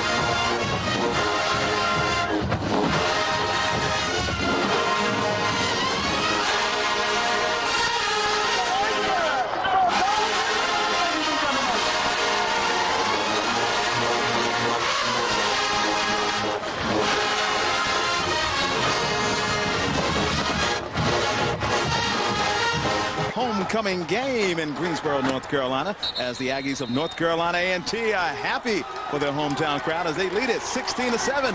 over BCC, Bethune-Cookman, as we look at the Jefferson Pilot building. And right now, lighting up the daytime is the Aggies. Now for a look at our Xerox stats and Mark Gray, it is quite obvious who's winning this game and why, because A&T has 115 yards rushing, and one young man, Maurice Hicks, has 99 of those yards on 15 carries. Well, chances are if Maurice Hicks has almost 100 yards at the end of the first half that the Aggies are going to be well ahead in the ball game. And, you know, Bethune-Cookman give their defense a lot of credit because the offense was in terrible uh, put the defense in terrible positions. And while we got, before we go to the second half, let's go downstairs and get another report. Here's Sam Smith. Thanks, guys. The word on Patel Troutman is that they're going to let him take a couple of practice snaps before Bethune-Cookman takes the field on offense. The problem is not the fact that he can't run around with the sore left shoulder. The problem is taking the snaps. That's where he's feeling the most pain. So it's just a matter of how much his pain threshold is, whether he can take the snap. If he can take the snap, he's going to play. Back to you guys. Sam Smith, we thank you for that information. And we saw Mr. Troutman, and there he is. He looks like he's ready to play. And here's a kid that has so much when it comes to guts, oh, and attitude, he's, intestinal fortitude. Yeah. He's got fire. He's got that fire in the eyes that everybody, all coaches like to talk about. If you want to go back to one of those high school coaching analogies that coaches used to always throw on you when you were playing. But, you know, you talk about a rough first half for Bethune-Cookman. Yeah, they do lose Patel Troutman, and we don't know if we'll see him back. It was so bad that the wind actually blew the game plans of the Bethune-Cookman coaches clean out of the stadium. Now, in some stadiums that you get to, a lot of the fans would hide them, would tear them up, would burn them. The folks here in Greensboro gave them back to the Bethune-Cookman coaches, so they do have their notes to refer to, and maybe that'll make a difference in the second half. You know, this has been homecoming for North Carolina A&T, and as I've stated so often during the broadcast reunion-type setting, but it's been great for me because I have so much family here in North Carolina, and my cousins here in Greensboro, Bob and Terry Booker have been so gracious. I got an opportunity to stay with them last night, and mm -hmm. my Uncle Malcolm, one of the oldest members of the family, is coming up from Fayetteville, and I got cousins coming up from Laurinburg, so we're going to have a big old dinner tonight. We're going to have some chitlins, and we're going to have some food. I had mine last gonna, night. And we're going to get down. I love coming home. chitlins, collard greens, the whole nine. All right, we're underway with second half action. Eric Lash picks yeah. it up, and there's some flags thrown down. It was an onside kick. Bethune-Cookman came out trying to be aggressive. I'm anxious to see whether or not the ball went 10 yards because there was definitely contact before the Aggies made possession.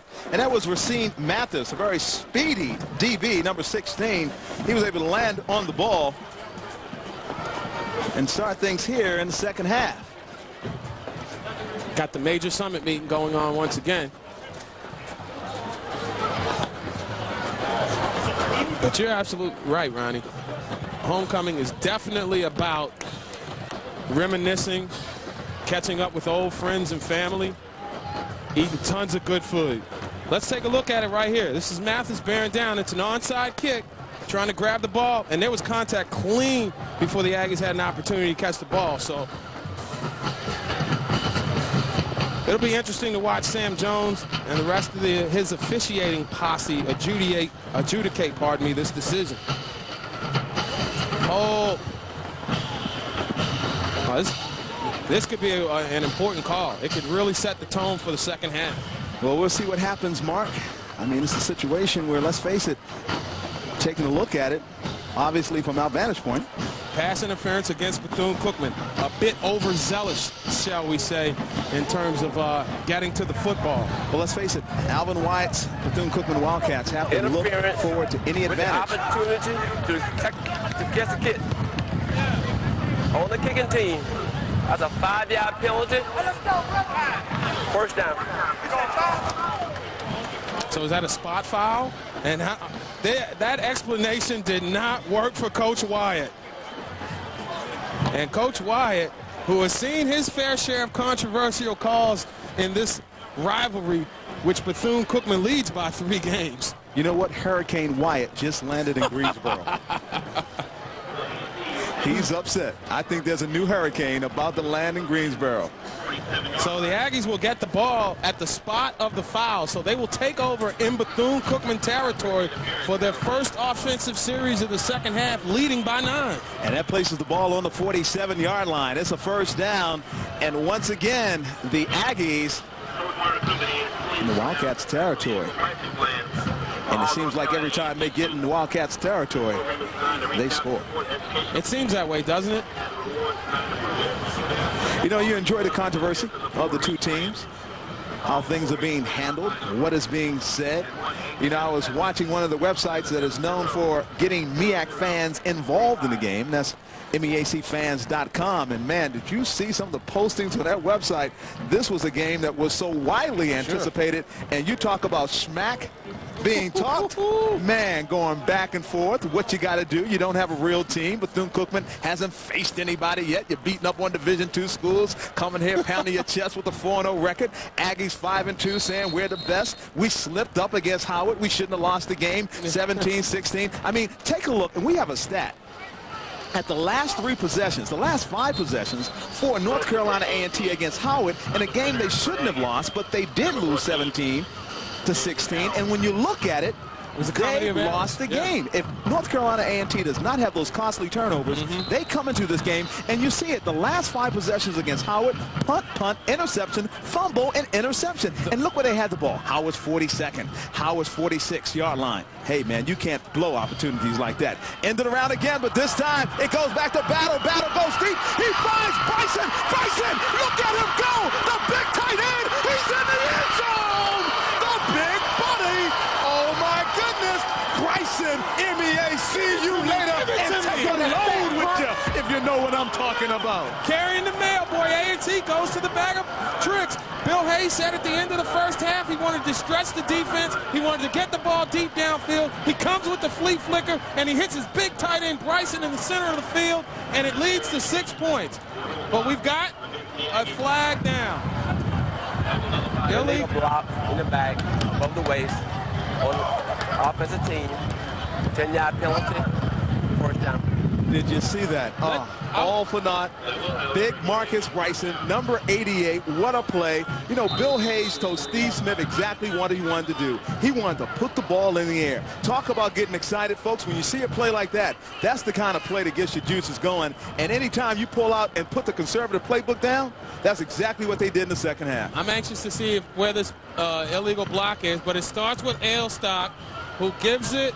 I think that was to Helton, and this is a strike finding his quarterback, his tight end in the center of the field, and that might have been the illegal block in the back right there. Wow, and I'm not even quite sure that was a block that needed to be made. Before the snap, false start, movement on the offensive line, five-yard penalty, first down. So the Aggies, who aren't as penalized statistically per game like Bethune-Cookman, now have eight penalties on the afternoon compared to four for the Wildcats.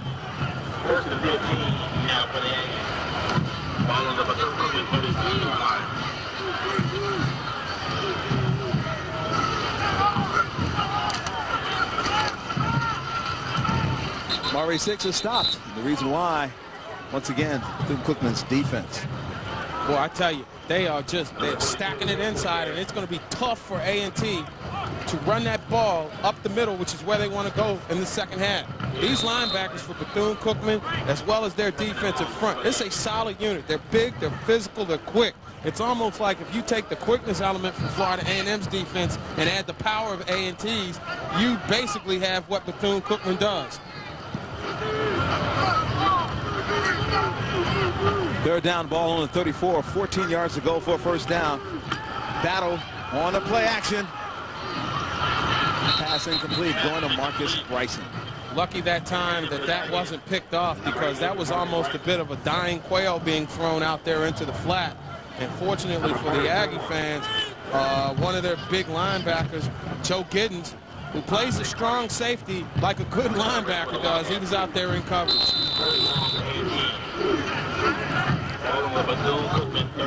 I still don't see number one in the, in, in the lineup. That's Ramondo North. And I guess I'll continue to beat that horse, but this is a kid averaging over 26 yards per catch. And this is where North Carolina A&T struggles. Third down percentage less than 25%. Third and 13. Had some contact. That's Bethune. Looks like that might have been Quentin Lewis, the nose tackle that made contact with Victor Marte. Offside on the defense. That's a five-yard penalty. Still third down. It's five yards, but it's still nowhere close for a first down. That'll make it third and nine yards to go for a first down. 16 to 7 is our score. North Carolina A&T with the league on this homecoming afternoon. And what a gorgeous day in Greensboro it is, and what a beautiful sight seeing all the people that are here. You see the penalties in the yards right there, and uh, you can't make mistakes. Someone will capitalize. Battle back to pass. Ball is intercepted. And once again, that was Mathis. That is his 10th interception on the season. This young man leads the entire nation in interceptions with 10. Well, Rashean Mathis. We're seeing a guy that not only can cover, but he just simply has a nose of the ball. Let's take a look at Rashean's record-setting interceptions this season. He has picked off a pass just about against everybody. This is this is against Delaware State. That's where it began. He's That's got right. another he had one. four interceptions in that Delaware State game. That was on the 7th of October, and that is an all-time single-game record in the MEAC. See, uh, setting in the pocket, Mathis finds the other Mathis. I wonder if they kissing cousins or boys like that.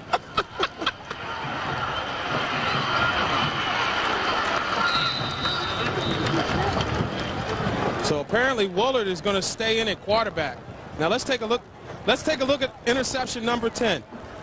Great use of the tip drill. You know, this ball is deflected, tried to force it over the middle, and he just locks in on it and hauls it in. Maybe his, one of his more easier interceptions, but 10 interceptions, that's kind of stuff pro scouts will definitely take a look at. You know, the one thing I enjoy about it is this young man is in the right spot at the right time. Rashean Mathis, 10th interception this season. Second and seven. This team is totally different without Patel Troutman in the game. Mm-hmm. That allows the linebackers and those hybrid linebackers, what they call the whip and the ram linebackers, to just play aggressive and unabated. And Parrish is remaining down on the field. Yeah, T.J. Parrish, and that's another big blow if he goes down. He's gotten up on his own. But, you know, with Troutman not in the game, Gary Willett has his hands full. Let's go downstairs to Sam Smith, who's got an update on Patel Troutman. Thanks, guys. Patel Troutman is out for the game with that AC sprain in his left shoulders. The doctors didn't want to take a chance on him further injuring the shoulder. They're going to take him back home to Daytona Beach and take x-rays on the shoulder at that point. But right now, a big blow for the BCC offense. Patel Troutman out for the game. Back to you. What a telling story with Patel Troutman being out for the game because that could be their season right then and there. 7-0 coming into this game. Willett going up. And this ball might be picked off. It was almost, it almost was. But what an effort that time. The receiver down there in triple coverage goes up. I believe that was Eric Lask. Montrell Pittman almost came up with the interception. That was Antonio Stanley once again. You'll see it in slow motion as Pittman, number 24, will come into your screen and on the tip as Stanley goes up against the tall trees. Remember, Antonio Stanley is not the tallest of the wide receivers. Watch him out there in the land of the Giants. Watch number 24 coming to the screen. You see it there. And he almost got it. And Lash was there as well. Here comes Head punt. All kinds of trouble. Caldwell, watch him. Caldwell still on his feet. Caldwell with a nifty return. I remember you talking about him a couple of weeks ago. He's an explosive, exciting player, and we've got a lot more explosive excitement when we come back to Greensboro. North Carolina A&T leads 16 to 7. Looks like that undefeated record of the Wildcats is going to go up with the loss. You see it, the road to the goal. And right now, it could come down to Hampton in North Carolina A&T because Bethune-Cookman has Hampton next week. And you see the road for North Carolina A&T might look a little easier with Delaware State. And then, of course, the following week, it's Bethune-Cookman at Howard, and then it's North Carolina A&T at Hampton. The Aggies finish out against South Carolina State. Well, of course, Wildcats finish in that big classic down in Florida against their famed rival, FAMU. So you know what? Troutman injured that same shoulder against Hampton last season. Right. Now they're going into Hampton without him, and I'm telling you, the MEAC title right now is very much up for grabs. Depending on the outcome of this game, guess who could hold, hold the key to all Hampton. the goodies when it's all said and done. Well, the number one scorer in the country, Montrell Coley in the Hampton Pirates. Well, you know, and he's averaging over 16 points a game. But one thing about it, Bethune-Cookman's road to the gold has gotten a lot rocky if they a lot rockier if they don't have a healthy Troutman. If they a totally different team as you said offensively, but remember they run the football and they play great defense, and those are two ingredient uh, uh, ingredients I should say in, in terms of your recipe that you need to contend. So oftentimes you look at a quarterback who has such an impact on their offense, but they might have to call a different game, but there's enough talent out there for them to do some things. All, all's not lost totally without Troutman in the contest. All right, it's Aggie country. Ball is on the four-yard line. First down, 10 to go. It's just to the goal, baby. Ain't no 10 to go. It's first and goal. You know, we've had more filibusters on the field today than they've had in Congress in the last six months. It's just amazing. 16-7 to score, first and goal. And that time Hicks was trying to make it to the end zone. And he made it to the three-yard line. Well, there's a different kind of summit meeting right there. Boy, I'm telling you, we have seen this guy take some shots and bounce off tackles and continue to roll. And he just took a lick that time. He seems to enjoy that, though. Coach Bill Hayes. And, and, you know something? If he was up by 20 points, his expression would still be the same.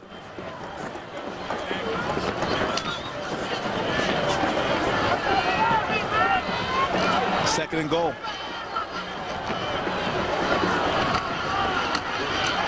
Atkins to give. Once again to Hicks. And you talked about that stingy defense. It's alive and well. That is an impressive defense, especially right up the middle that time with Hubbard and Oglesby doing a great job of just collapsing into the center right there. So Matkins is in the ball game right now. We saw him connect with a touchdown pass in the first half. We saw Bryson er we saw Bryson as Maurice Hicks continues with his fourth straight 100-yard game. We saw Bryson earlier. This is a great time to use your tight end right here. Big target, safe pass. Wouldn't be shocked to see A&T go up top to him. Third and goal, ball on the three. And it's Atkins, touchdown. Well, that time they crossed everybody up. They put the pass quarterback in a run package, and he ran the option and took it to the house. And A&T is in good shape right now. Got to feel really good about the way things are transpiring here on homecoming. Keith Matkins with the touchdown. This time he took matters into his own hand as the quarterback, number 17. Matkins, touchdown. Good decision. You know, he had he had a safety valve back there with him who, was, who would have been, I'm sure, happy to escort him into the end zone. But Matkins takes it to the house. Job well done for the young man. You know, they said we will see Jason Battle. They said we will see Keith Atkins. They're going for the two-point conversion. Bryson up and gone! Bryson! Did you see him? Out of nowhere. Making sure it would happen, and he had some help. My goodness, Darren Dawkins getting it done. Nice play that time. Jason Battle coming in as the holder gets to the outside and he tossed it to Bryson. We, we look for Bryson. We were just a play early. And this is Matkins running that option, making a good decision, taking it to the house. It's 24 to 74 to 7. That's our score. 10-16 remaining in the third quarter. Ronnie Duncan, Mark Gray, watching the game for you, along with Sam Smith on the sideline. And suffice to say, the time has come for Bethune-Cookman to open up the offense just a little something something here, Ronnie. Danny Solares in the kick. That goes to Antonio Stanley. Stanley brought down around the 23-yard line. There you can see the adjustment that A&T made with their special teams coverage that time. It was a center return that was set up once again, which is what sprung Mathis in the first half for that long one that was called back. But they do a good job of staying in their lanes and clamping down on Mathis. And like I said, I think the Wyatt bone is going to have to maybe break the bone a little bit right now to go up top. Charles McDonald. Do you have your shoulder pads on backwards, number 93? Take a look at Charles McDonald. If you look at it closely, the pads are on backwards. Charlie, get with the program, okay? He's in the homecoming swing of things. Backwards. Homecoming starts at noon. Take a little bit of time for everybody to get wound up. But the turnout has been absolutely gorgeous here in Greensboro. I don't think movements on the offensive line. Five-yard penalty, first down. And don't think it ends when the gun goes off at the end of the game. You know Frankie Beverly and Maze performed here last night? Yes. Snoop Doggy Dogg's in town tonight. Did you know that? Last time BCC had three consecutive winning seasons, 76, 77, and 78. But that man right there, Alvin Wyatt, is trying to pull off the trifecta this year. And he's well on his way with that 7 and 0 start. My goodness. Alan Suber, the quarterback, number seven. Something has got to happen quickly right now for Bethune-Cookman. Yeah. I mean, Suber is the third quarterback they've used. Troutman is out. They'll find out about him later on this season. Well, that Gary Woolard looked like he was pretty confident back there. Looked like he had command of the offense, was able to make some things happen vertically. Unfortunately, his receivers let him down. Point well taken. 9.30 left in the third quarter. Movement on the line once again, and there's a flag. Well, I think that time, Torrance Green, the se redshirt senior, beat the snap count.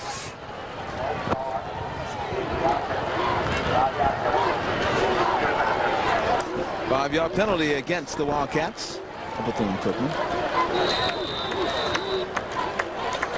Coach Wyatt definitely likes to use the run game to ignite his offense, but they have so much speed and so much talent at the skill players. Somebody's got to take a shot at trying to stretch this Aggie defense right now. Suber rolling out. Suber still on his feet. He's managing to stay on his feet. There's a possibility of downfield receiver, and that's Eric Lash, and that could be a first down for Bethune-Cookman. What a great play for the young man, and a play that could give him the confidence that he needs to get things going for Bethune-Cookman. Just a super play by Suber that time. Watch. He's out here. He is dead to rights. You talk about Massey out there. He's got a beat on him. You know, look at it. There are three people, and he spins out of it. That's a great move. Those moves are shaky like collard greens, fella. Then he finds, he gets outside, and he delivers a strike, and Lash hauls it in. So a great individual effort that time by Suber, and Lash giving his quarterback a safety valve. Suber this time gains a yard on the play, crosses the 35 to the 36-yard line. Boy, the Wildcats are definitely moving like there's still a, and, and there is a lot of time left here, but the ebb and flow of this game, you definitely want to put the pressure on. See if you can get a score here and make it tight in the fourth quarter. Second and nine will be the situation for the Wildcats. Lask is limping off just a little bit. This has been a physical game. Bethune-Cookman may come out of here by more beat down from an injury standpoint than anything on the scoreboard. Suber back to pass. Pass incomplete. And that intended for Parrish. The reason that that pass was incomplete is because Sammy Rogers once again was bearing down on the quarterback. And speaking of Rogers, where's Jay all of a sudden? We have not called Jay Rogers' name in quite a while, and I'm just wondering, is he banged up a little bit? They were able to run the ball effectively when he had him Indeed. in the game. First half of the game, Jay Rogers, won the bright spots for Bethune-Cookman. Managed 19 yards on just eight carries in the first half. Suber stats. Well, they're pretty young because he's just gotten in the game. One to three, 41 yards. Suber back to pass, but once again, oh, it's a touchdown. And I'm telling you, interception. I thought it was a touchdown because the big fella almost got there and got inside. I really thought he almost had daylight. I thought he did too. Wow, what a play that time. And once again, Sammy Rogers doesn't get a sack doesn't get a tackle, but give him an assist with the pressure that he got. Look, 41 coming from the left side of your screen, bearing down on Suber, forces him to release early, and then it is picked off by one of the big nasties up front who's able to move like a regular old ice wagon inside the red zone. Asita Alabade. There he is. Sammy Rogers, the man putting on the heat. Asita almost had you into the end zone. You had him into the end zone. I had him in the end zone. So Bethune-Cookman. I'm having flashbacks of last season or something. you just couldn't believe a guy that big got up that high to catch that pass. Nah, you know what? I really thought he was going to make it in yeah. the end zone for a touchdown. But it was the interception. Asita, good job for you. He still made the highlights. he doesn't get an MEAC see you later. No, he doesn't. Have we been keeping that staff? Do we have somebody who leads the league in the NBA see you later? oh, it's easy. Who? It's Montrell Coley. Uh-huh. yeah, I have to agree with that. Well, here comes Hicks. Hicks to the five. Tell me he's not a special man, number 22, Maurice Hicks. I thought that he was getting a little upset that he didn't make the yeah, later list. Watch this. Individual effort once again. Good job of seal blocking, but he just breaks one tackle there, runs into a pack, breaks three tackles there, spins out of another one, breaks another tackle, and he's on down inside the five-yard line. Just a tremendous performer is Hicks. He's physical, he's got speed, and he makes people come up, try to tackle him, pay the price. 14 yards on the carry. Maurice Hicks, once again, first and goal. Hicks with the carry. Hicks into the end zone. And once again, Maurice Hicks has put it on the board. Give it to me, man. Give it to me. NBA, see you later. That's right. Give him a see you later. I love it. I love it. Maurice Hicks, five-yard touchdown. North Carolina A&T. Once again, the Aggies putting it on, and the homecoming crowd is starting to get the dogs. Who let the dogs out? It's homecoming, baby, and the Aggies are barking up a storm. that is tremendous, and it is. Pops got to enjoy this, and moms. Cutting Ray Ray, Boo Skillet. Bad snap. And it's going to stay at 30 to 7. It's 37. North Carolina A&T. Hey, I called a false touchdown, but Mr. Hicks made sure he got to the end zone with a real touchdown. 30 to 7 A&T. Pride you're seeing it today. The Aggies claim the Black College National Championship a year ago. Well, their coach, Bill Hayes, was the coach of the year in black college football and beyond. Once again, the Aggies, you don't have to put a collar on them. They've been let loose. Who let the dogs out? It's evident. Look at the score. 30 to 7 North Carolina A&T. 634 remaining in the third quarter. Solares set the kick. Set to receive it. Antonio Stanley. That was a great kick. Now let's take a look at our National Car Rental scoring drive. And you know National Car means go. There he is, the young man who can do it all by himself sometimes. And he reads his blockers. Maurice Hicks. Yeah, but he also has that jet where he can explode into the secondary and he makes people pay for coming up and run support and trying to tackle him. You talk about guys like he and Montrell Coley, uh, just tremendously talented running backs. There's a National Car Rental scoring drive. Remember, green means go with National Car Rental. Call 1-800-CAR-RENT or book online at www.nationalcar.com. Wow.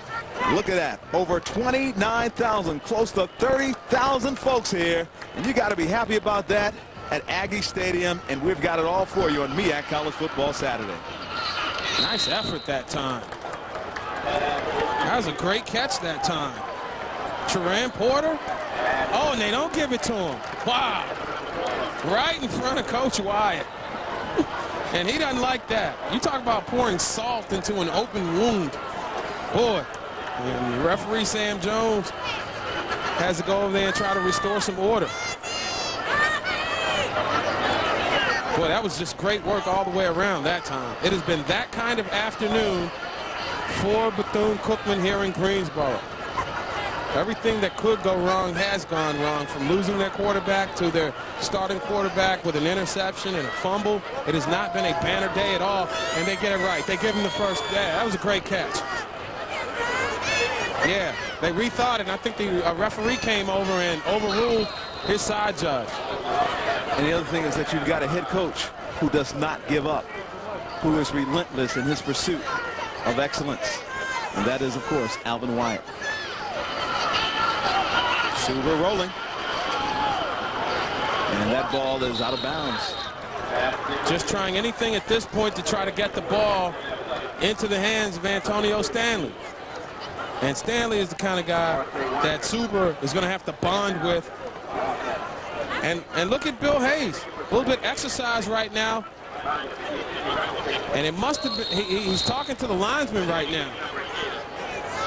And when you're up by 23, it has to be a little something, a, a, a whole lot of something to tee you off.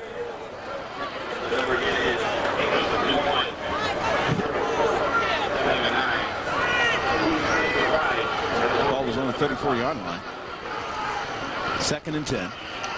Suber finds Antonio Stanley. Stanley with a first down for the Wildcats. There's a late flag that comes in there, and I just hope it's not a face mask being called. This looks like one of those high tackles that often looks like a face mask. And Illy, wow. Let's take a look at that one one more time. This is after the catch, and, well, I don't know. Was that face mask or was that shoulder pad? On the defense. Five-yard penalty. Okay. First down. Well, at least it was There was a face mask if you look at it again in slow motion, but it happened when the play was totally over. But the official thought otherwise. Maybe this is makeup. But at least it was only a five-yard face mask, the incidental foul. You got to protect those faces, man. It's homecoming.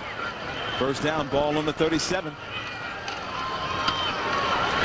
Suber flushed out of the pocket. He made a wise decision that time for a quarterback. Picked up about six yards on the play. Well, the dance around here doesn't start until about 9 or 10 o'clock this evening Eastern time. But you saw some nice dance moves by Suber to get out of trouble that time.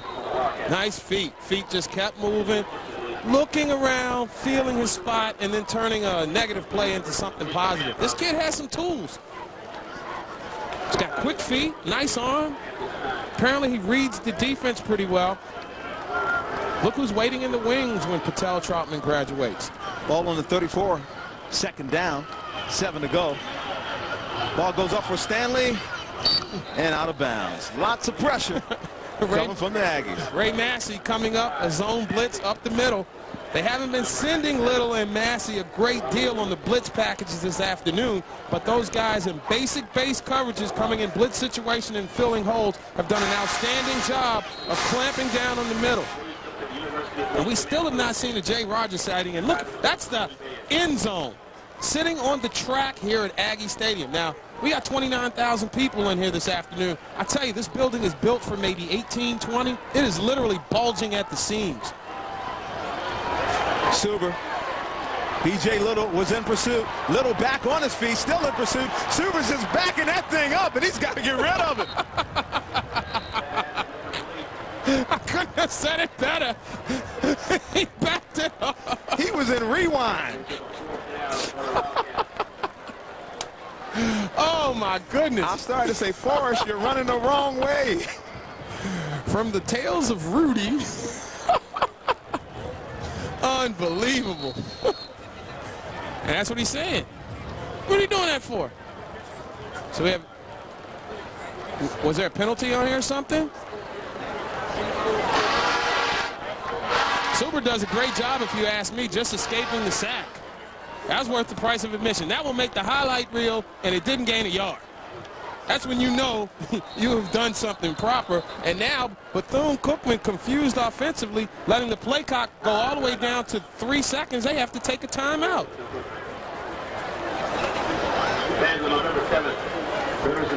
Sam Smith is on the sidelines with a special guest. Sam. Thanks, guys. I'm joined by A&T Athletic Director Alfonso Scandrette. Dr. Scandrette, you've got to be excited about what's going on today at Aggie Stadium. Big crowd, big performance from your team, and all-around perfect day.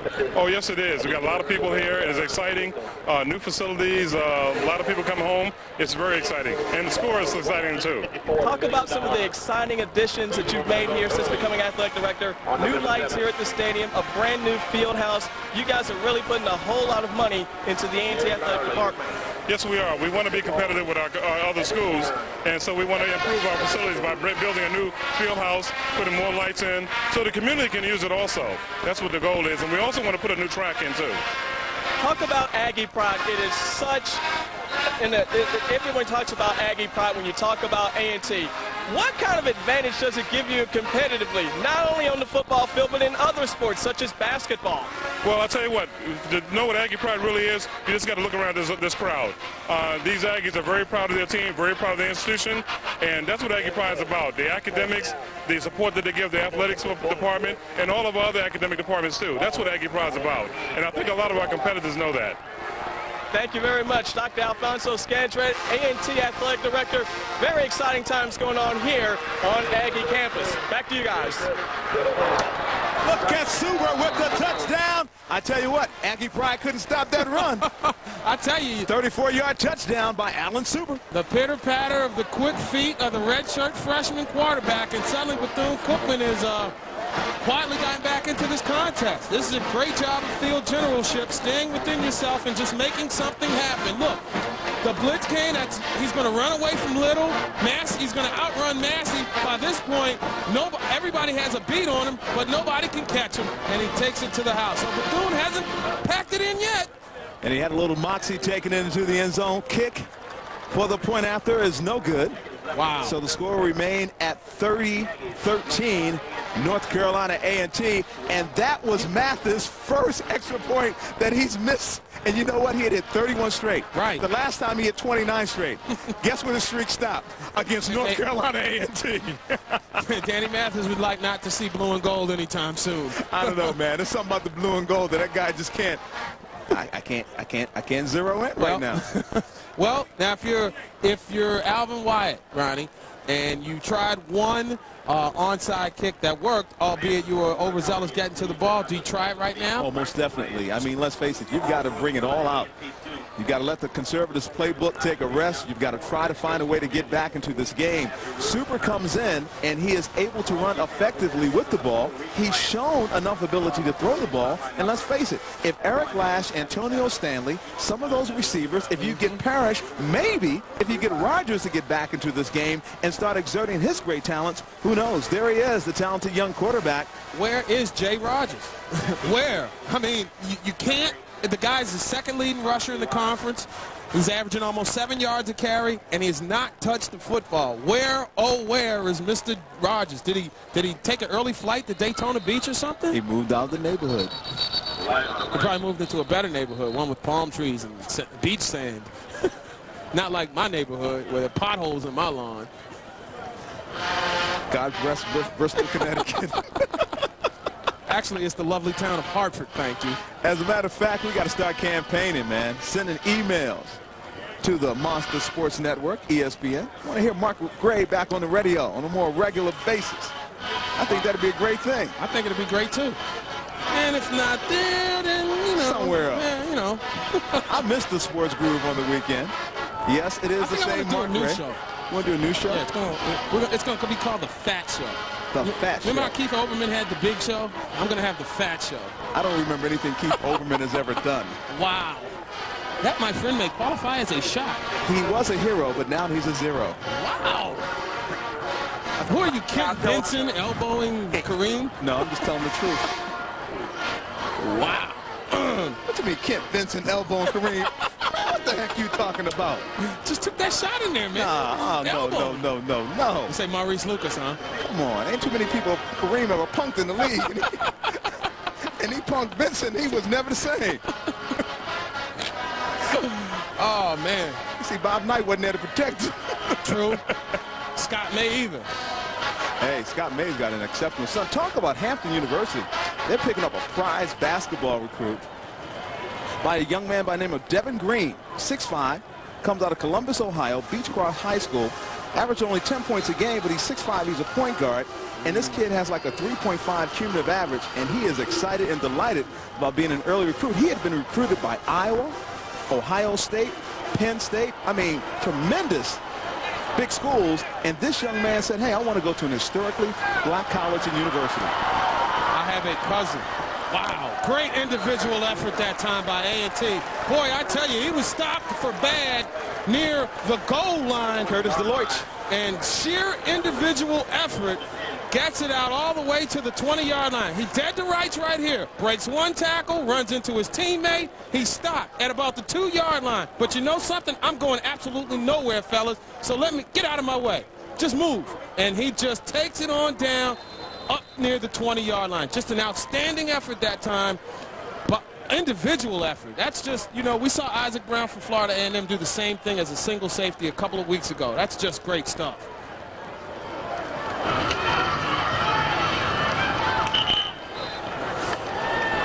Ian Alstott on the run, number 26. First time we've had opportunities here from the senior.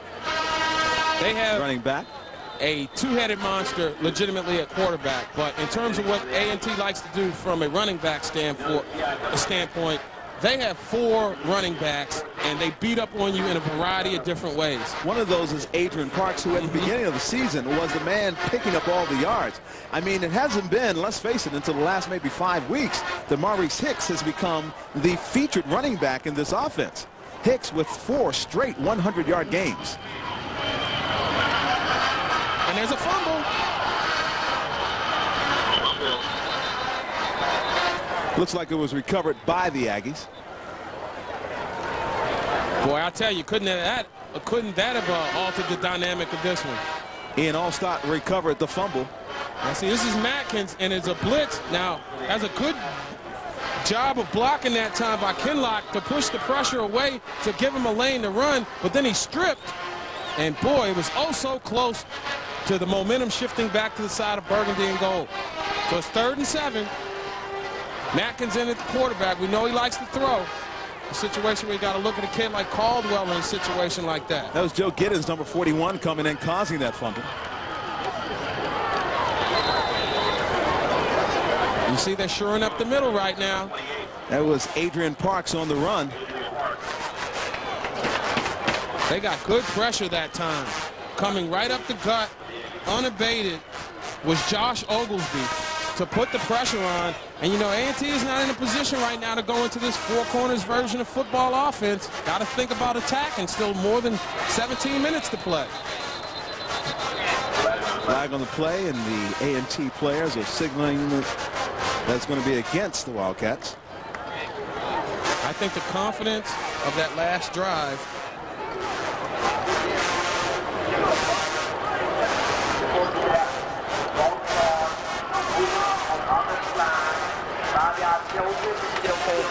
I think the confidence that Bethune-Cookman's offense gained from scoring on that last drive will be a carryover effect for this drive.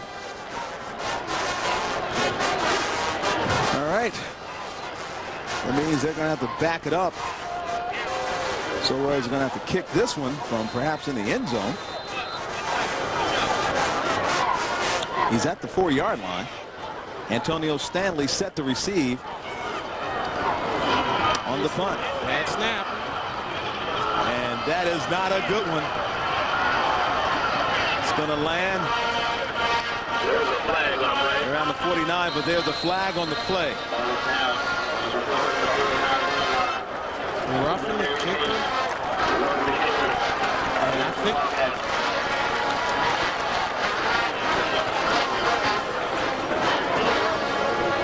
You know, we've been wondering basically about what has happened to Jay Rogers. And, you know, let's face it, there could have been a possibility because of the hard hitting of that Blue Death defense. Jay got bumped up. He may have gotten bruised and banged a little bit, but this is a killer blow for Bethune-Cookman. A uh, roughing the kicker penalty gives A&T the ball back after the Wildcats. The kicker on the defense. A five-yard penalty, still falls down. Wow, that's a tough, tough call. Let's go downstairs to Sam Smith, who has an update on Troutman as well as Jay Rogers. Sam? Thanks, guys. You guys have been wondering, where is Jay Rogers been in the second half? Well, because of the situation with Bethune falling so far behind, they brought in running backs that can block for the passer, Alan Suber, and can protect him in the pocket. The news, however, is worse for Patel Troutman. Doctors now say he has a broken collarbone, definitely out for the game, and out for the foreseeable future, possibly for the remainder of the season. So the breaks just get worse for BCC. Back to you guys. Antonio Stanley on the punt return. Stanley still on his feet. He's spinning out. If Stanley gets some daybreak, you never know what can oh, happen. He's missed that second. He's at. He's gonna M-E-A. See you later.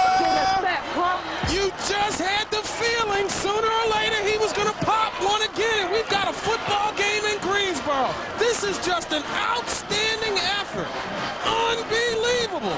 Antonio Stanley, they call him Mr. Excitement, won the leading kickoff and punt return specialist in the country. And all of a sudden, the Wildcat Golden Ladies are very excited. Look what he does, spinning around, juking, Watch making sure cut. nobody gets him. And what I like right about here. him is the serious uh. cut. Boy, is he cutting up something. That was a 67-yard return for a touchdown by that young man, Antonio Stanley. And just like that, the Wildcats can pull to within 10 going into the final quarter, and all that they've been through, mistakes, turnovers, injuries, they can feel great about themselves because they've gotten themselves back into a position to win this game. Oh, what a play. 30-19 is our score right now. And Bill Hayes is preaching to his group, you can never sleep on Bethune-Cookman. Remember, this is a team that has not lost this season. They don't know what losing's all about this season. Right. They are 7-0. They recognize the importance of winning the MEAC is on the line in this game. And now, now the band and the partisan who have come all and made the trek all the way. Oh, they ready Daytona. to flex, man. They got reason to dance now, dog. Right, we got ourselves a game. This give me some pound on that. we got ourselves a game, young fella. Okay. Oh, I love that. You 34 and I'm 42 and you call me young fella. Youngin. oh, this is Mark a great Gray. game.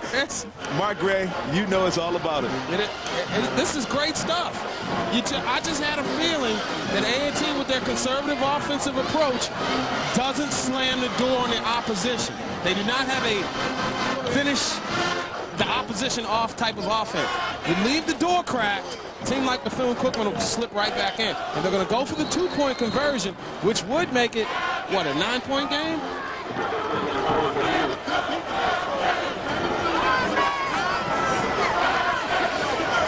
Suber rolling out. Suber. That's a nice play. And that's a two-point conversion. Boy, that... Suber going to Parrish. And what a beautiful play. Well, Are they not calling it? Wait a minute. Alvin Wyatt thinking it is offside. Is that the call, or was that an illegal participation type of thing? Were Let's there 12 see. players on the field?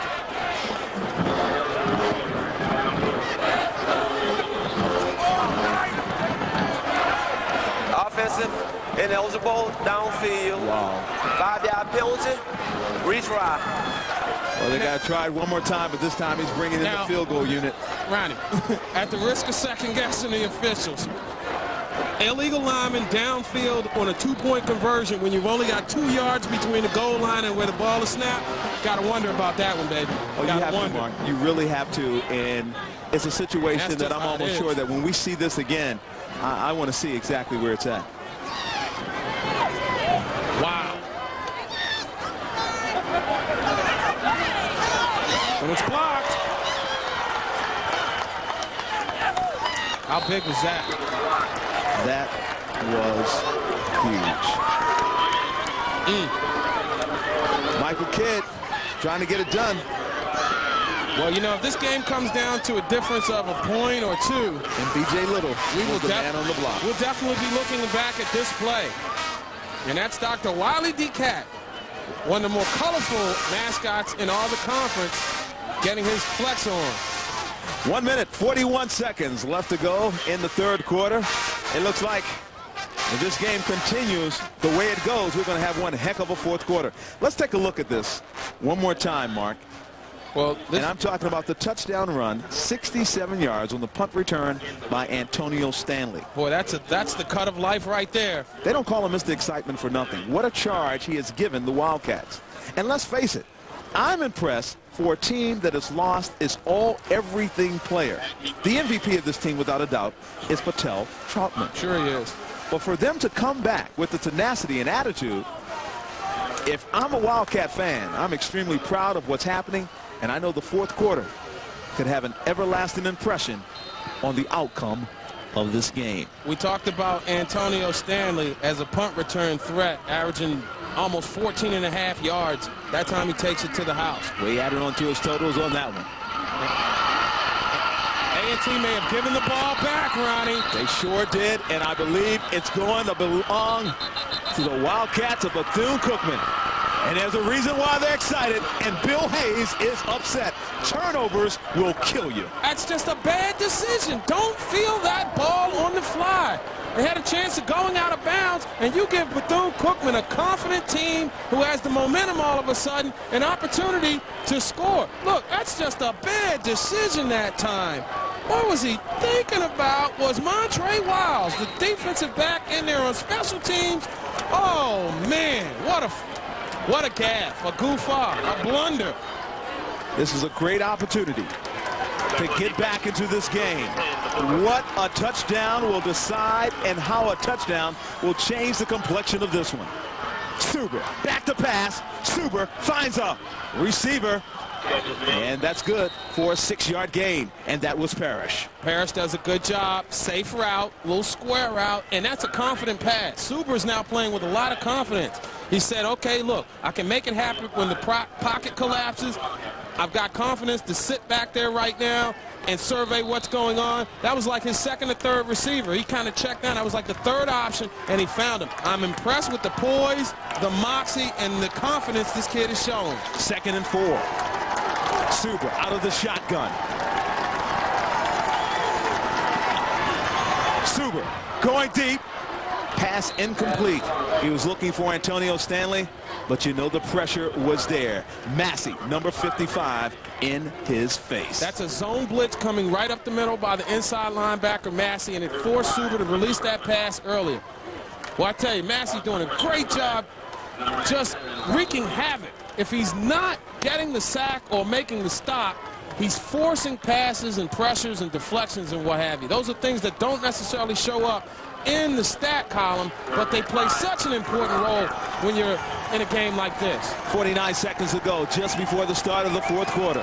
Suber, again, out of the shotgun, given time, but that time the defense was there, and Mr. Massey is in his face and on him like white on rice. Well, I tell you, well, like an Aggie linebacker on a quarterback in this particular instance, once again, zone blitz coming from another hole on the opposite side this time. He gets unabated to the quarterback, and down goes Suber.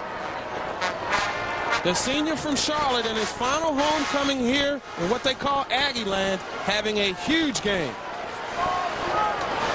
Massey turning up the big play when called upon. Senior got to step Man, up. This is like a boxing match. Oh, you take your oh. best blow, and I'm going to give you mine. Mm -hmm. And you know, I anticipated this, and this is the kind of game you want. You know, we build it up. We talked about the hype. Timeout right now for the Wildcats of Bethune-Cookman. But this is the kind of game Ronnie. that you knew I think they blew three timeouts in this quarter, did Bethune. I think that was that third timeout. Wow. That's huge. that is huge. That's huge. So how do you play it? Do you play it for the fourth quarter? The ball is on the 28.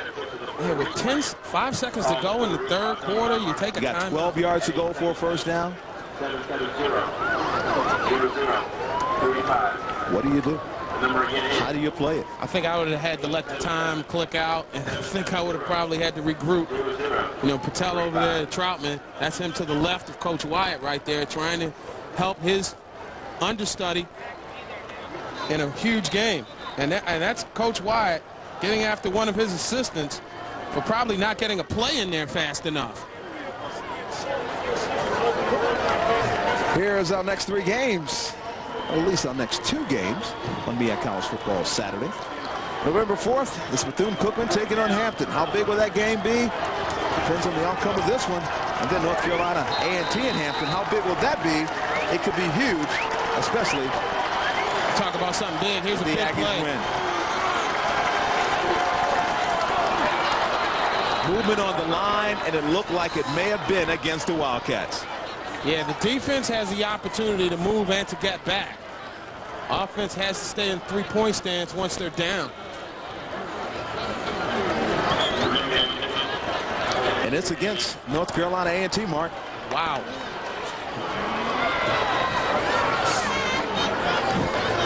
Offside on the defense. Five-yard penalty. First down. You see the score, 30-19, six seconds left in the third quarter.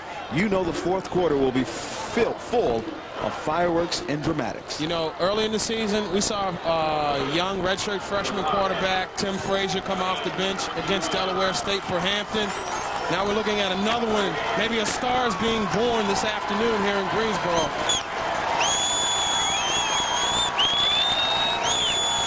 Two out of shotgun, fourth and seven. Two down the field, and he was looking for Lash. Boy, he had him too.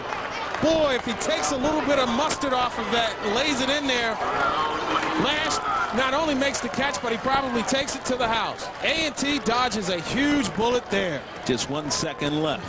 The play out. The third quarter. That's right. They'll pick Suber up. Look, he has time to set up. Massey once again with the pressure. Forces him to release it a little early with too much juice on it.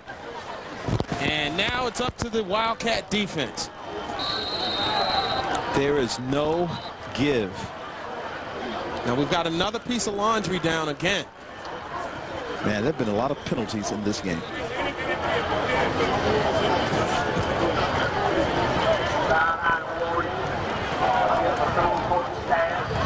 No penalty will be enforced at this time. What do you make of that? See what happened. What happened is what happened. I, I don't know what happened.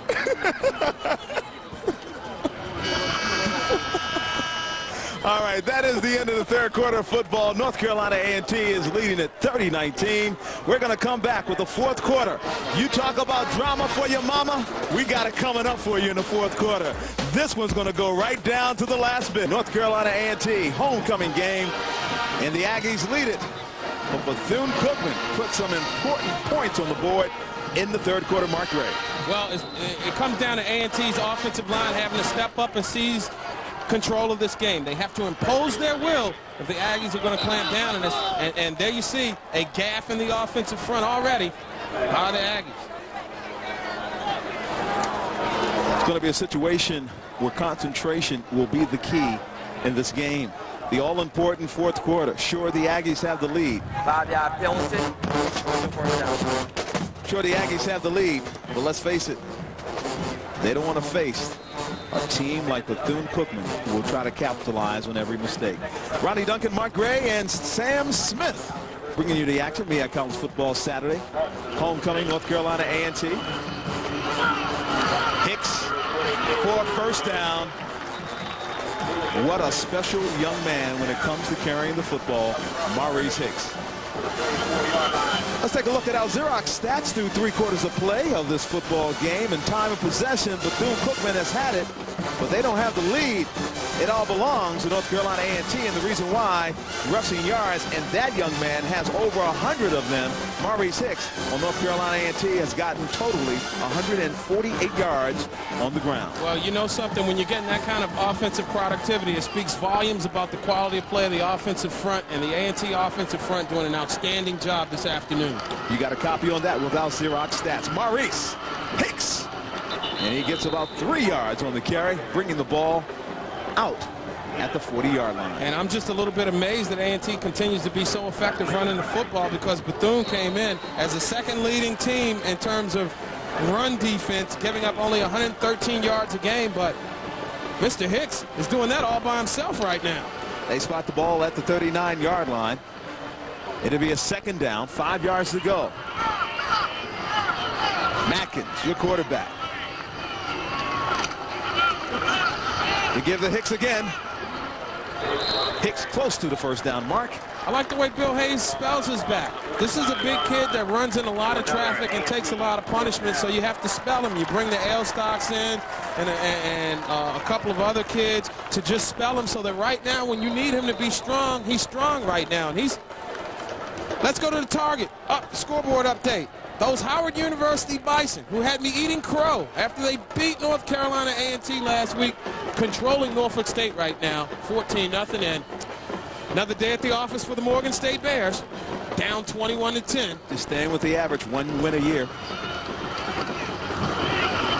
As a flag on the play, it was Hicks on the run. Well, I tell you, this Bethune-Cookman crew of linebackers is a great, quick crew. And this sophomore, number eight, Josh Oglesby, playing through a hold, makes a big-time stick on Hicks.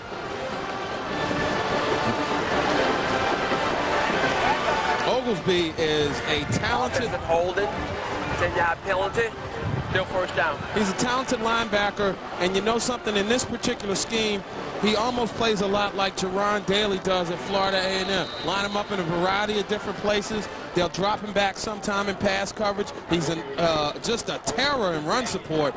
This guy's a solid, a solid linebacker for another couple of years. Somebody you can anchor your defense around in Wildcat country. First and 20. Atkins gives the Hicks.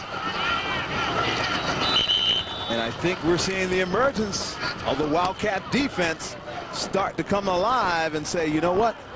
We have to stop this nonsense. Well, there was a, I think Matkins stumbled when he was taking the snap from center, and Hicks certainly stumbled as he was getting the ball from Matkins. So that play just was, uh, it stumbled from the start, and that's why they weren't able to pick up anything. And the sheriff getting some advice from his young pupil. Well, that's a great shot right there. Coach listening to the senior who's been through the wars and the, just, just discussing it. Of course, I don't think Coach Wyatt liked what Troutman had to say that time. Matkins rolling out, finds Helton. Helton turning the corner, short of first down. We'll take the ball to the 43. You know, those were the kind of passes early in the game that Troutman was trying to connect with his receivers on, and they were dropping those passes. And we could be talking a totally different game if Stanley and Lash had made a couple of those uh, catches on passes like that and patterns like that early in the first half. So you talk about a huge play right here for the BCC defense. It'll be third and 13. Whoop, here it is. Down by 11, they've got an opportunity to force a punt, which would lead them to have some semblance of decent field position. Huge play.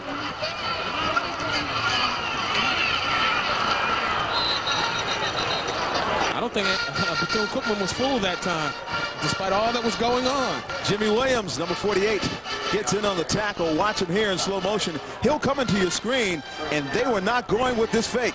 Jimmy Williams, see him? Number 48, wrapping the man up, getting some help there from Aaron Shepard. If I'm not mistaken, Ronnie, I think that's the play that they ran earlier, and Hicks broke one for about 40-some yards. That's a good adjustment that time by BCC.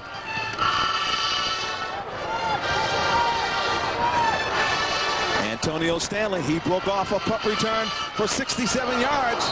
But this time, He's almost broken himself. yeah, that's what I was about to say. You took the words right out of my mouth. Wow. Maybe in the future, Mathis shouldn't have any blockers with him. We're back to Greensboro. Can the Aggies hold on? Find out in a minute.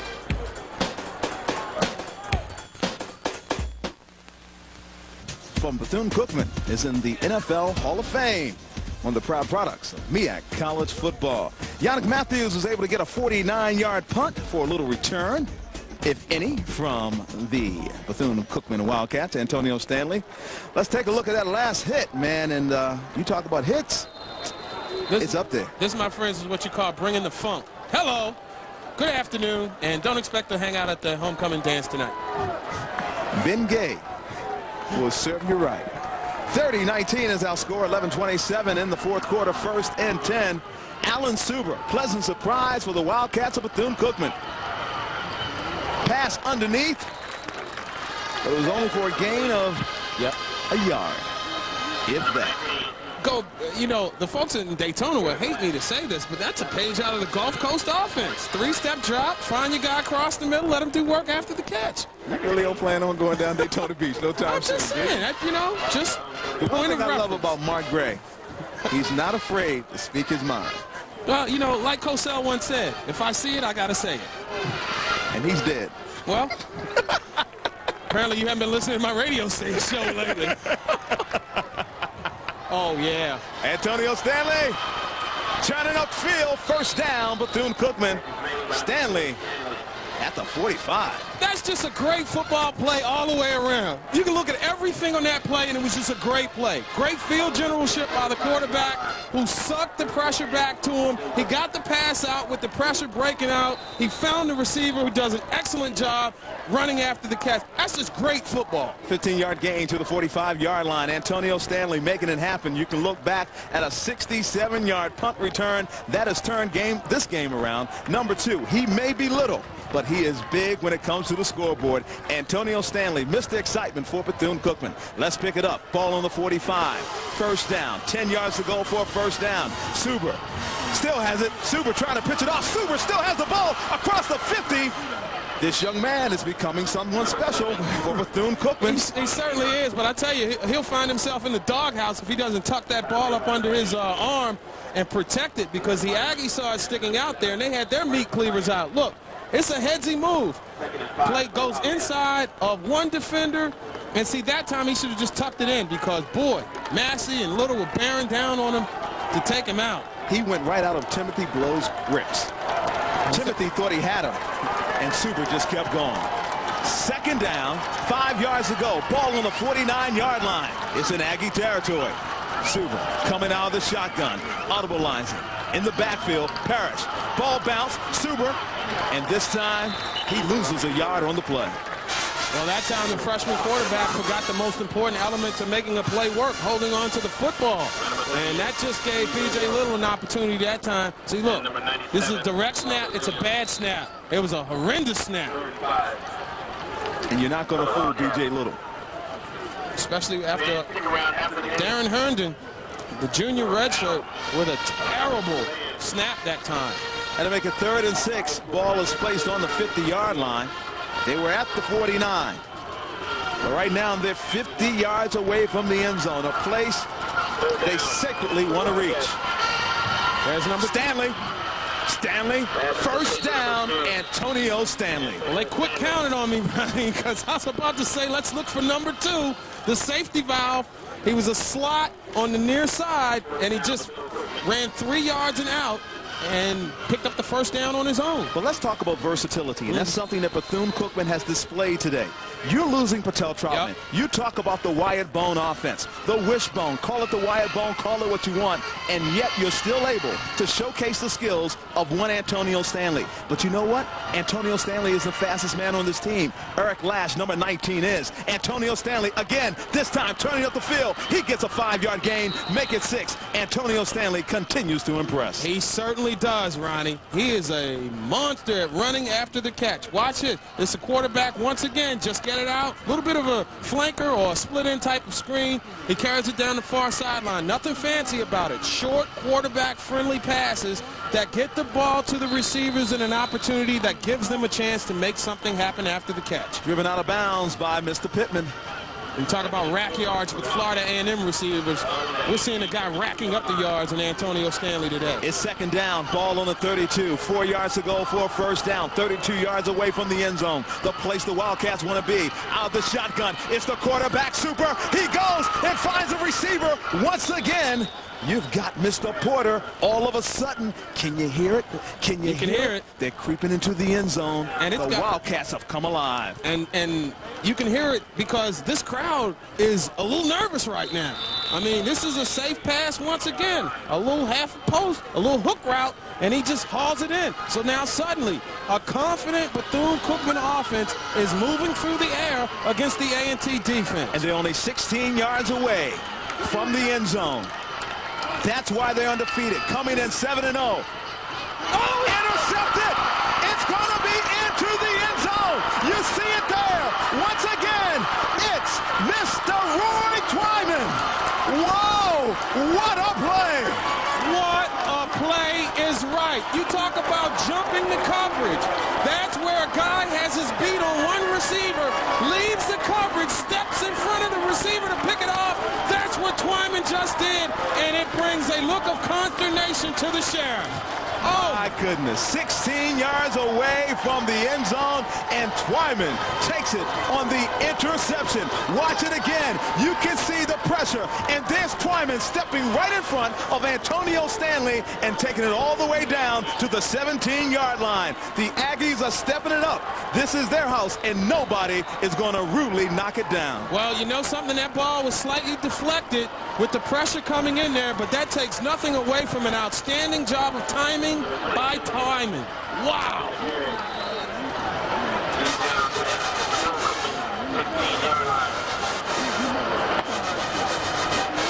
Boy, you talk about drastically changing the direction and complexion of this contest. Roy comes up with a huge play. Wow. Hicks right now, You've got to like it.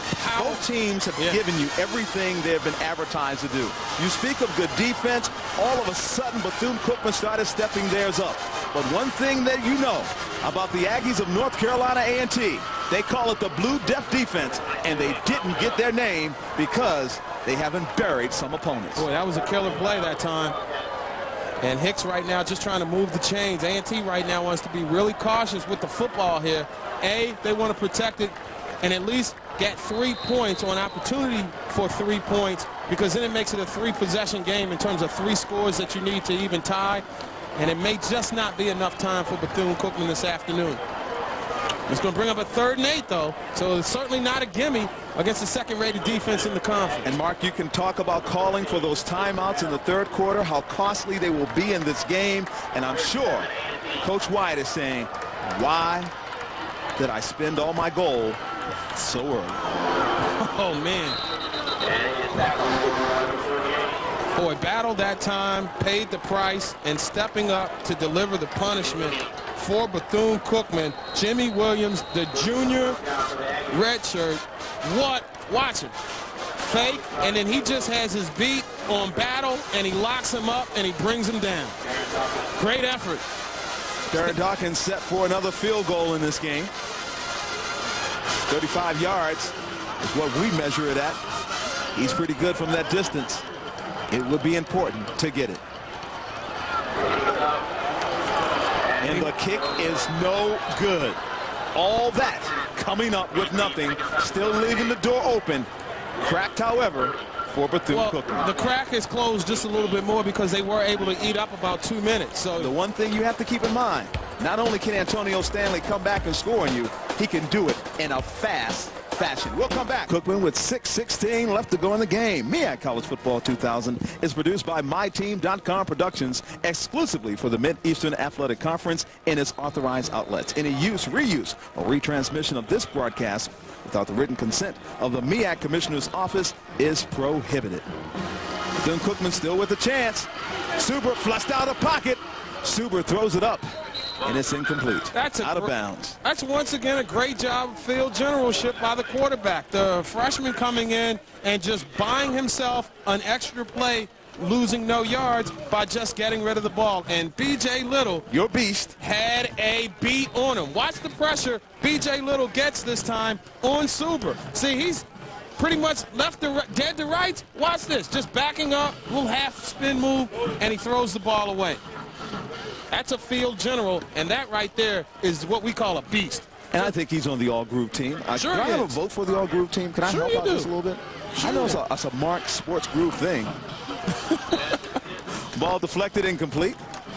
Suber on the seat of his pants being helped up by his offensive lineman. I'll talk to my boy Tiger Woods to see if Tiger will let you be down. Because if Target lets you get down, then you certainly can't have a vote. I have no say in the matter. Wait a minute, you and Tiger have made up? No, I, the beef I had was with Earl. Oh, with Earl Woods. Right. You know, because I know you can talk to Earl. Telepathically, of course. I know that. What is Earl saying to you right now? Shut up, you idiot. okay. Earl Woods, good advice. No, I'm only kidding. I'm only kidding. You know you my dog, so I got to go ahead and give you much love. Uh, always. Third and 10.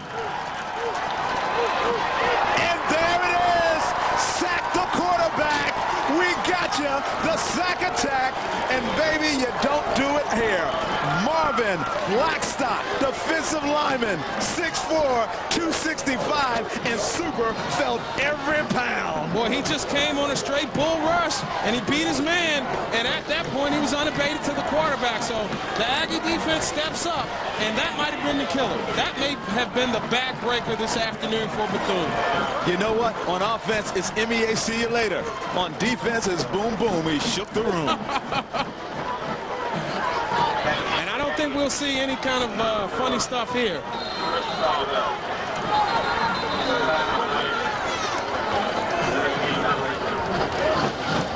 We got a penalty coming in. Thrown from an official behind Chris Caldwell, who was a single safety.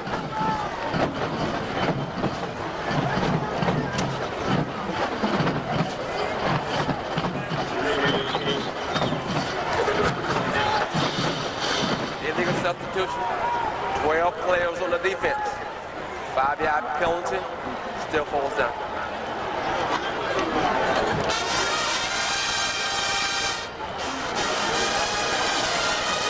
He had an idea, but that man right there is not going to take this one lying down. Watch the quick snap here. Coach Wyatt wants his team to get up and get set and get snapped. And A&T has to burn a timeout.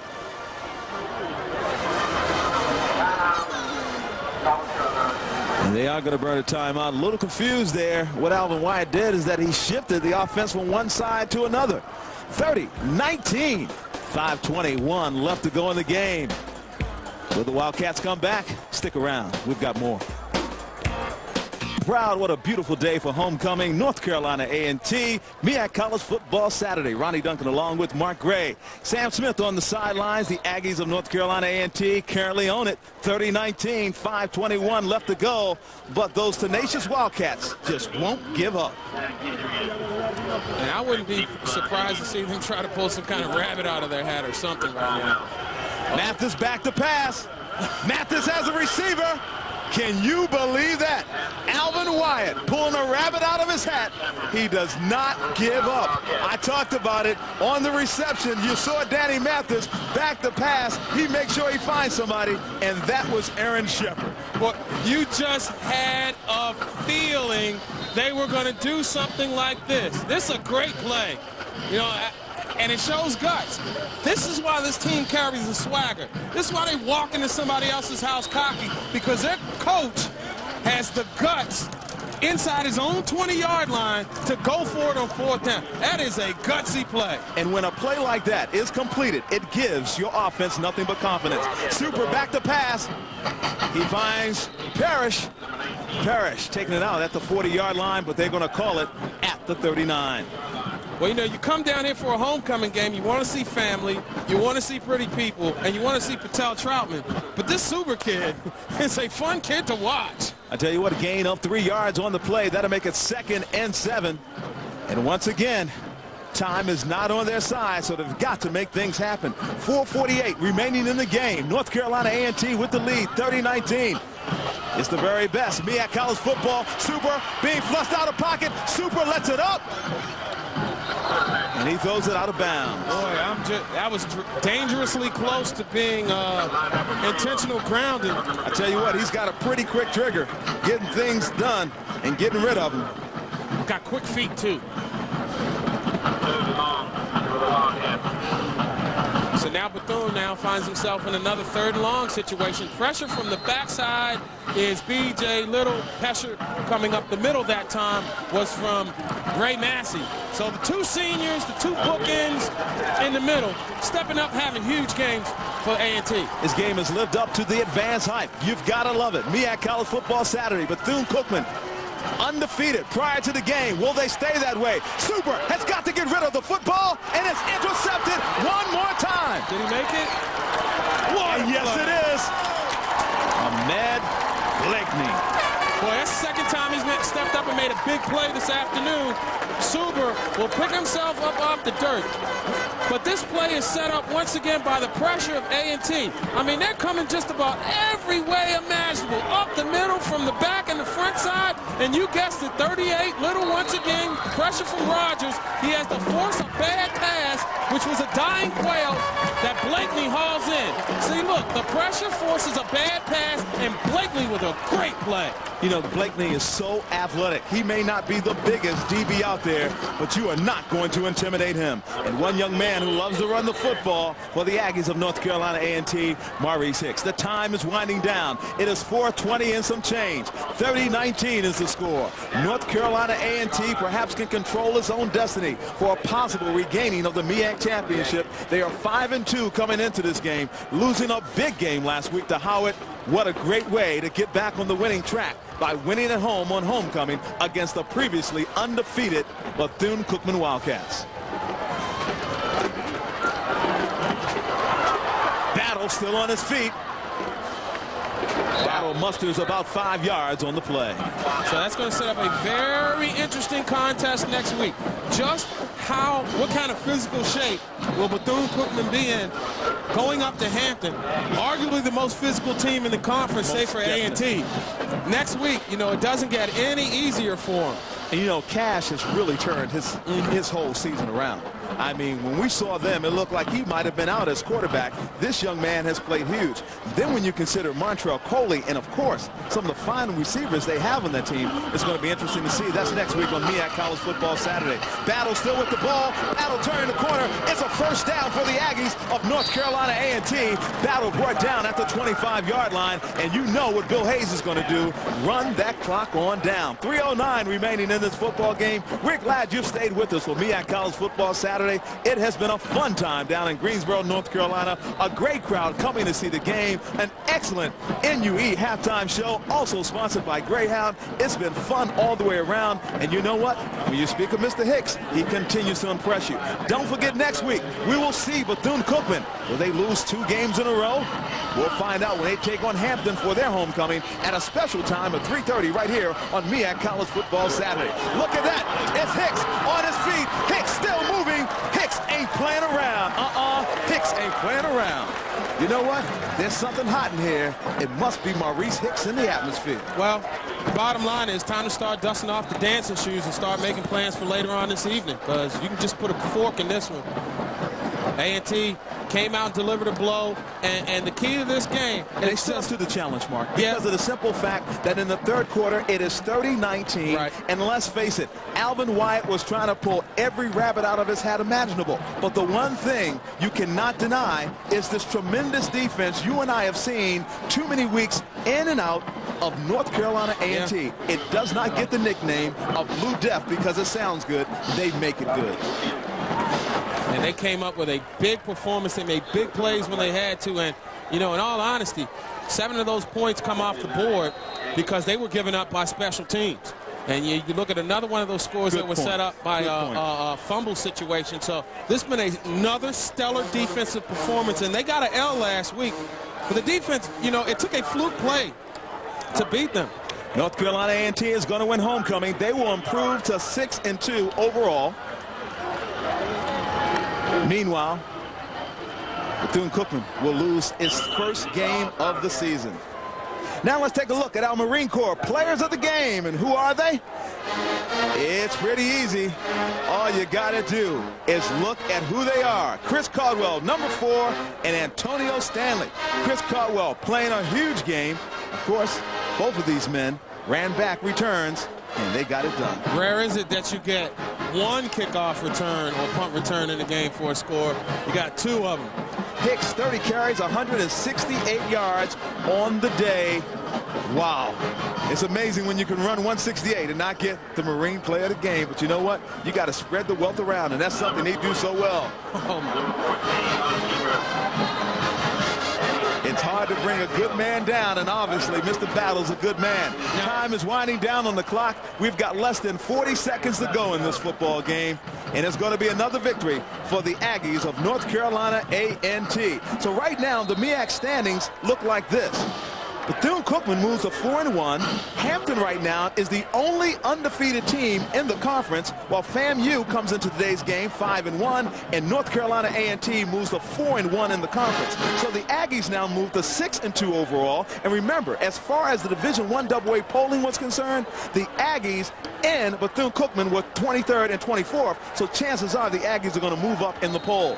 It's been a lot of fun. I'm Ronnie Duncan for Mark Gray and Sam Smith on the sideline. Final score today, 30 to 19. North Carolina A&T is going to once again be a big-time winner. Only six seconds left on the clock. We encourage you. We ask you, please tell everybody, join us next week for a great and exciting game because we're going to be down in Hampton, Virginia as the Pirates. And you don't want to miss the number one score in the country. Montrell Coley is averaging well over 100 yards a game, but more importantly, Montrell Coley is averaging 16.5 points a game college football?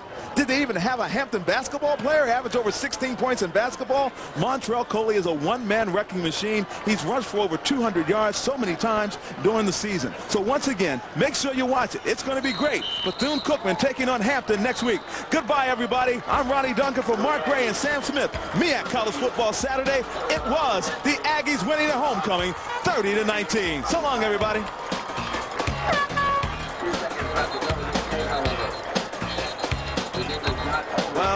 Guess what, folks? I wanted to send us home, but there's two seconds left to go in this one. Is this going to be the never-ending game? It's academic. Let the clock just simply run out. Like these two seconds are going to be the decisive factor in the game.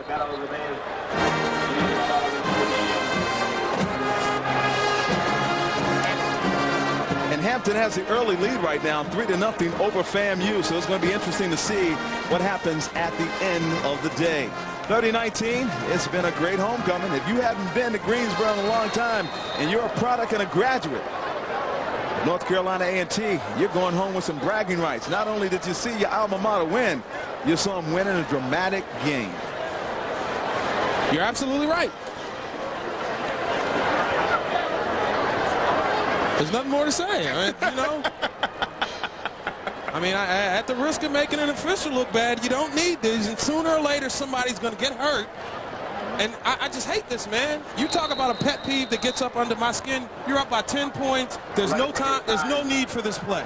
None whatsoever. Somebody will get hurt, and it'll cost the season, and, and, and then they're going to change the rule.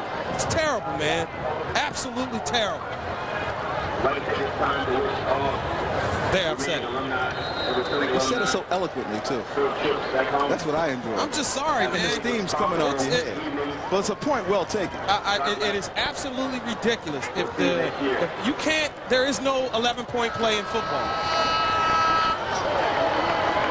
And there's our final play of the game. And Rogers. Interception. Sammy Rogers with the interception. Well, once again, I'm Roddy Duncan for Mark Gray and Sam Smith, who did an outstanding job. Final score, it's official now, 30 to 19, North Carolina A&T. We'll see you again next week in Hampton.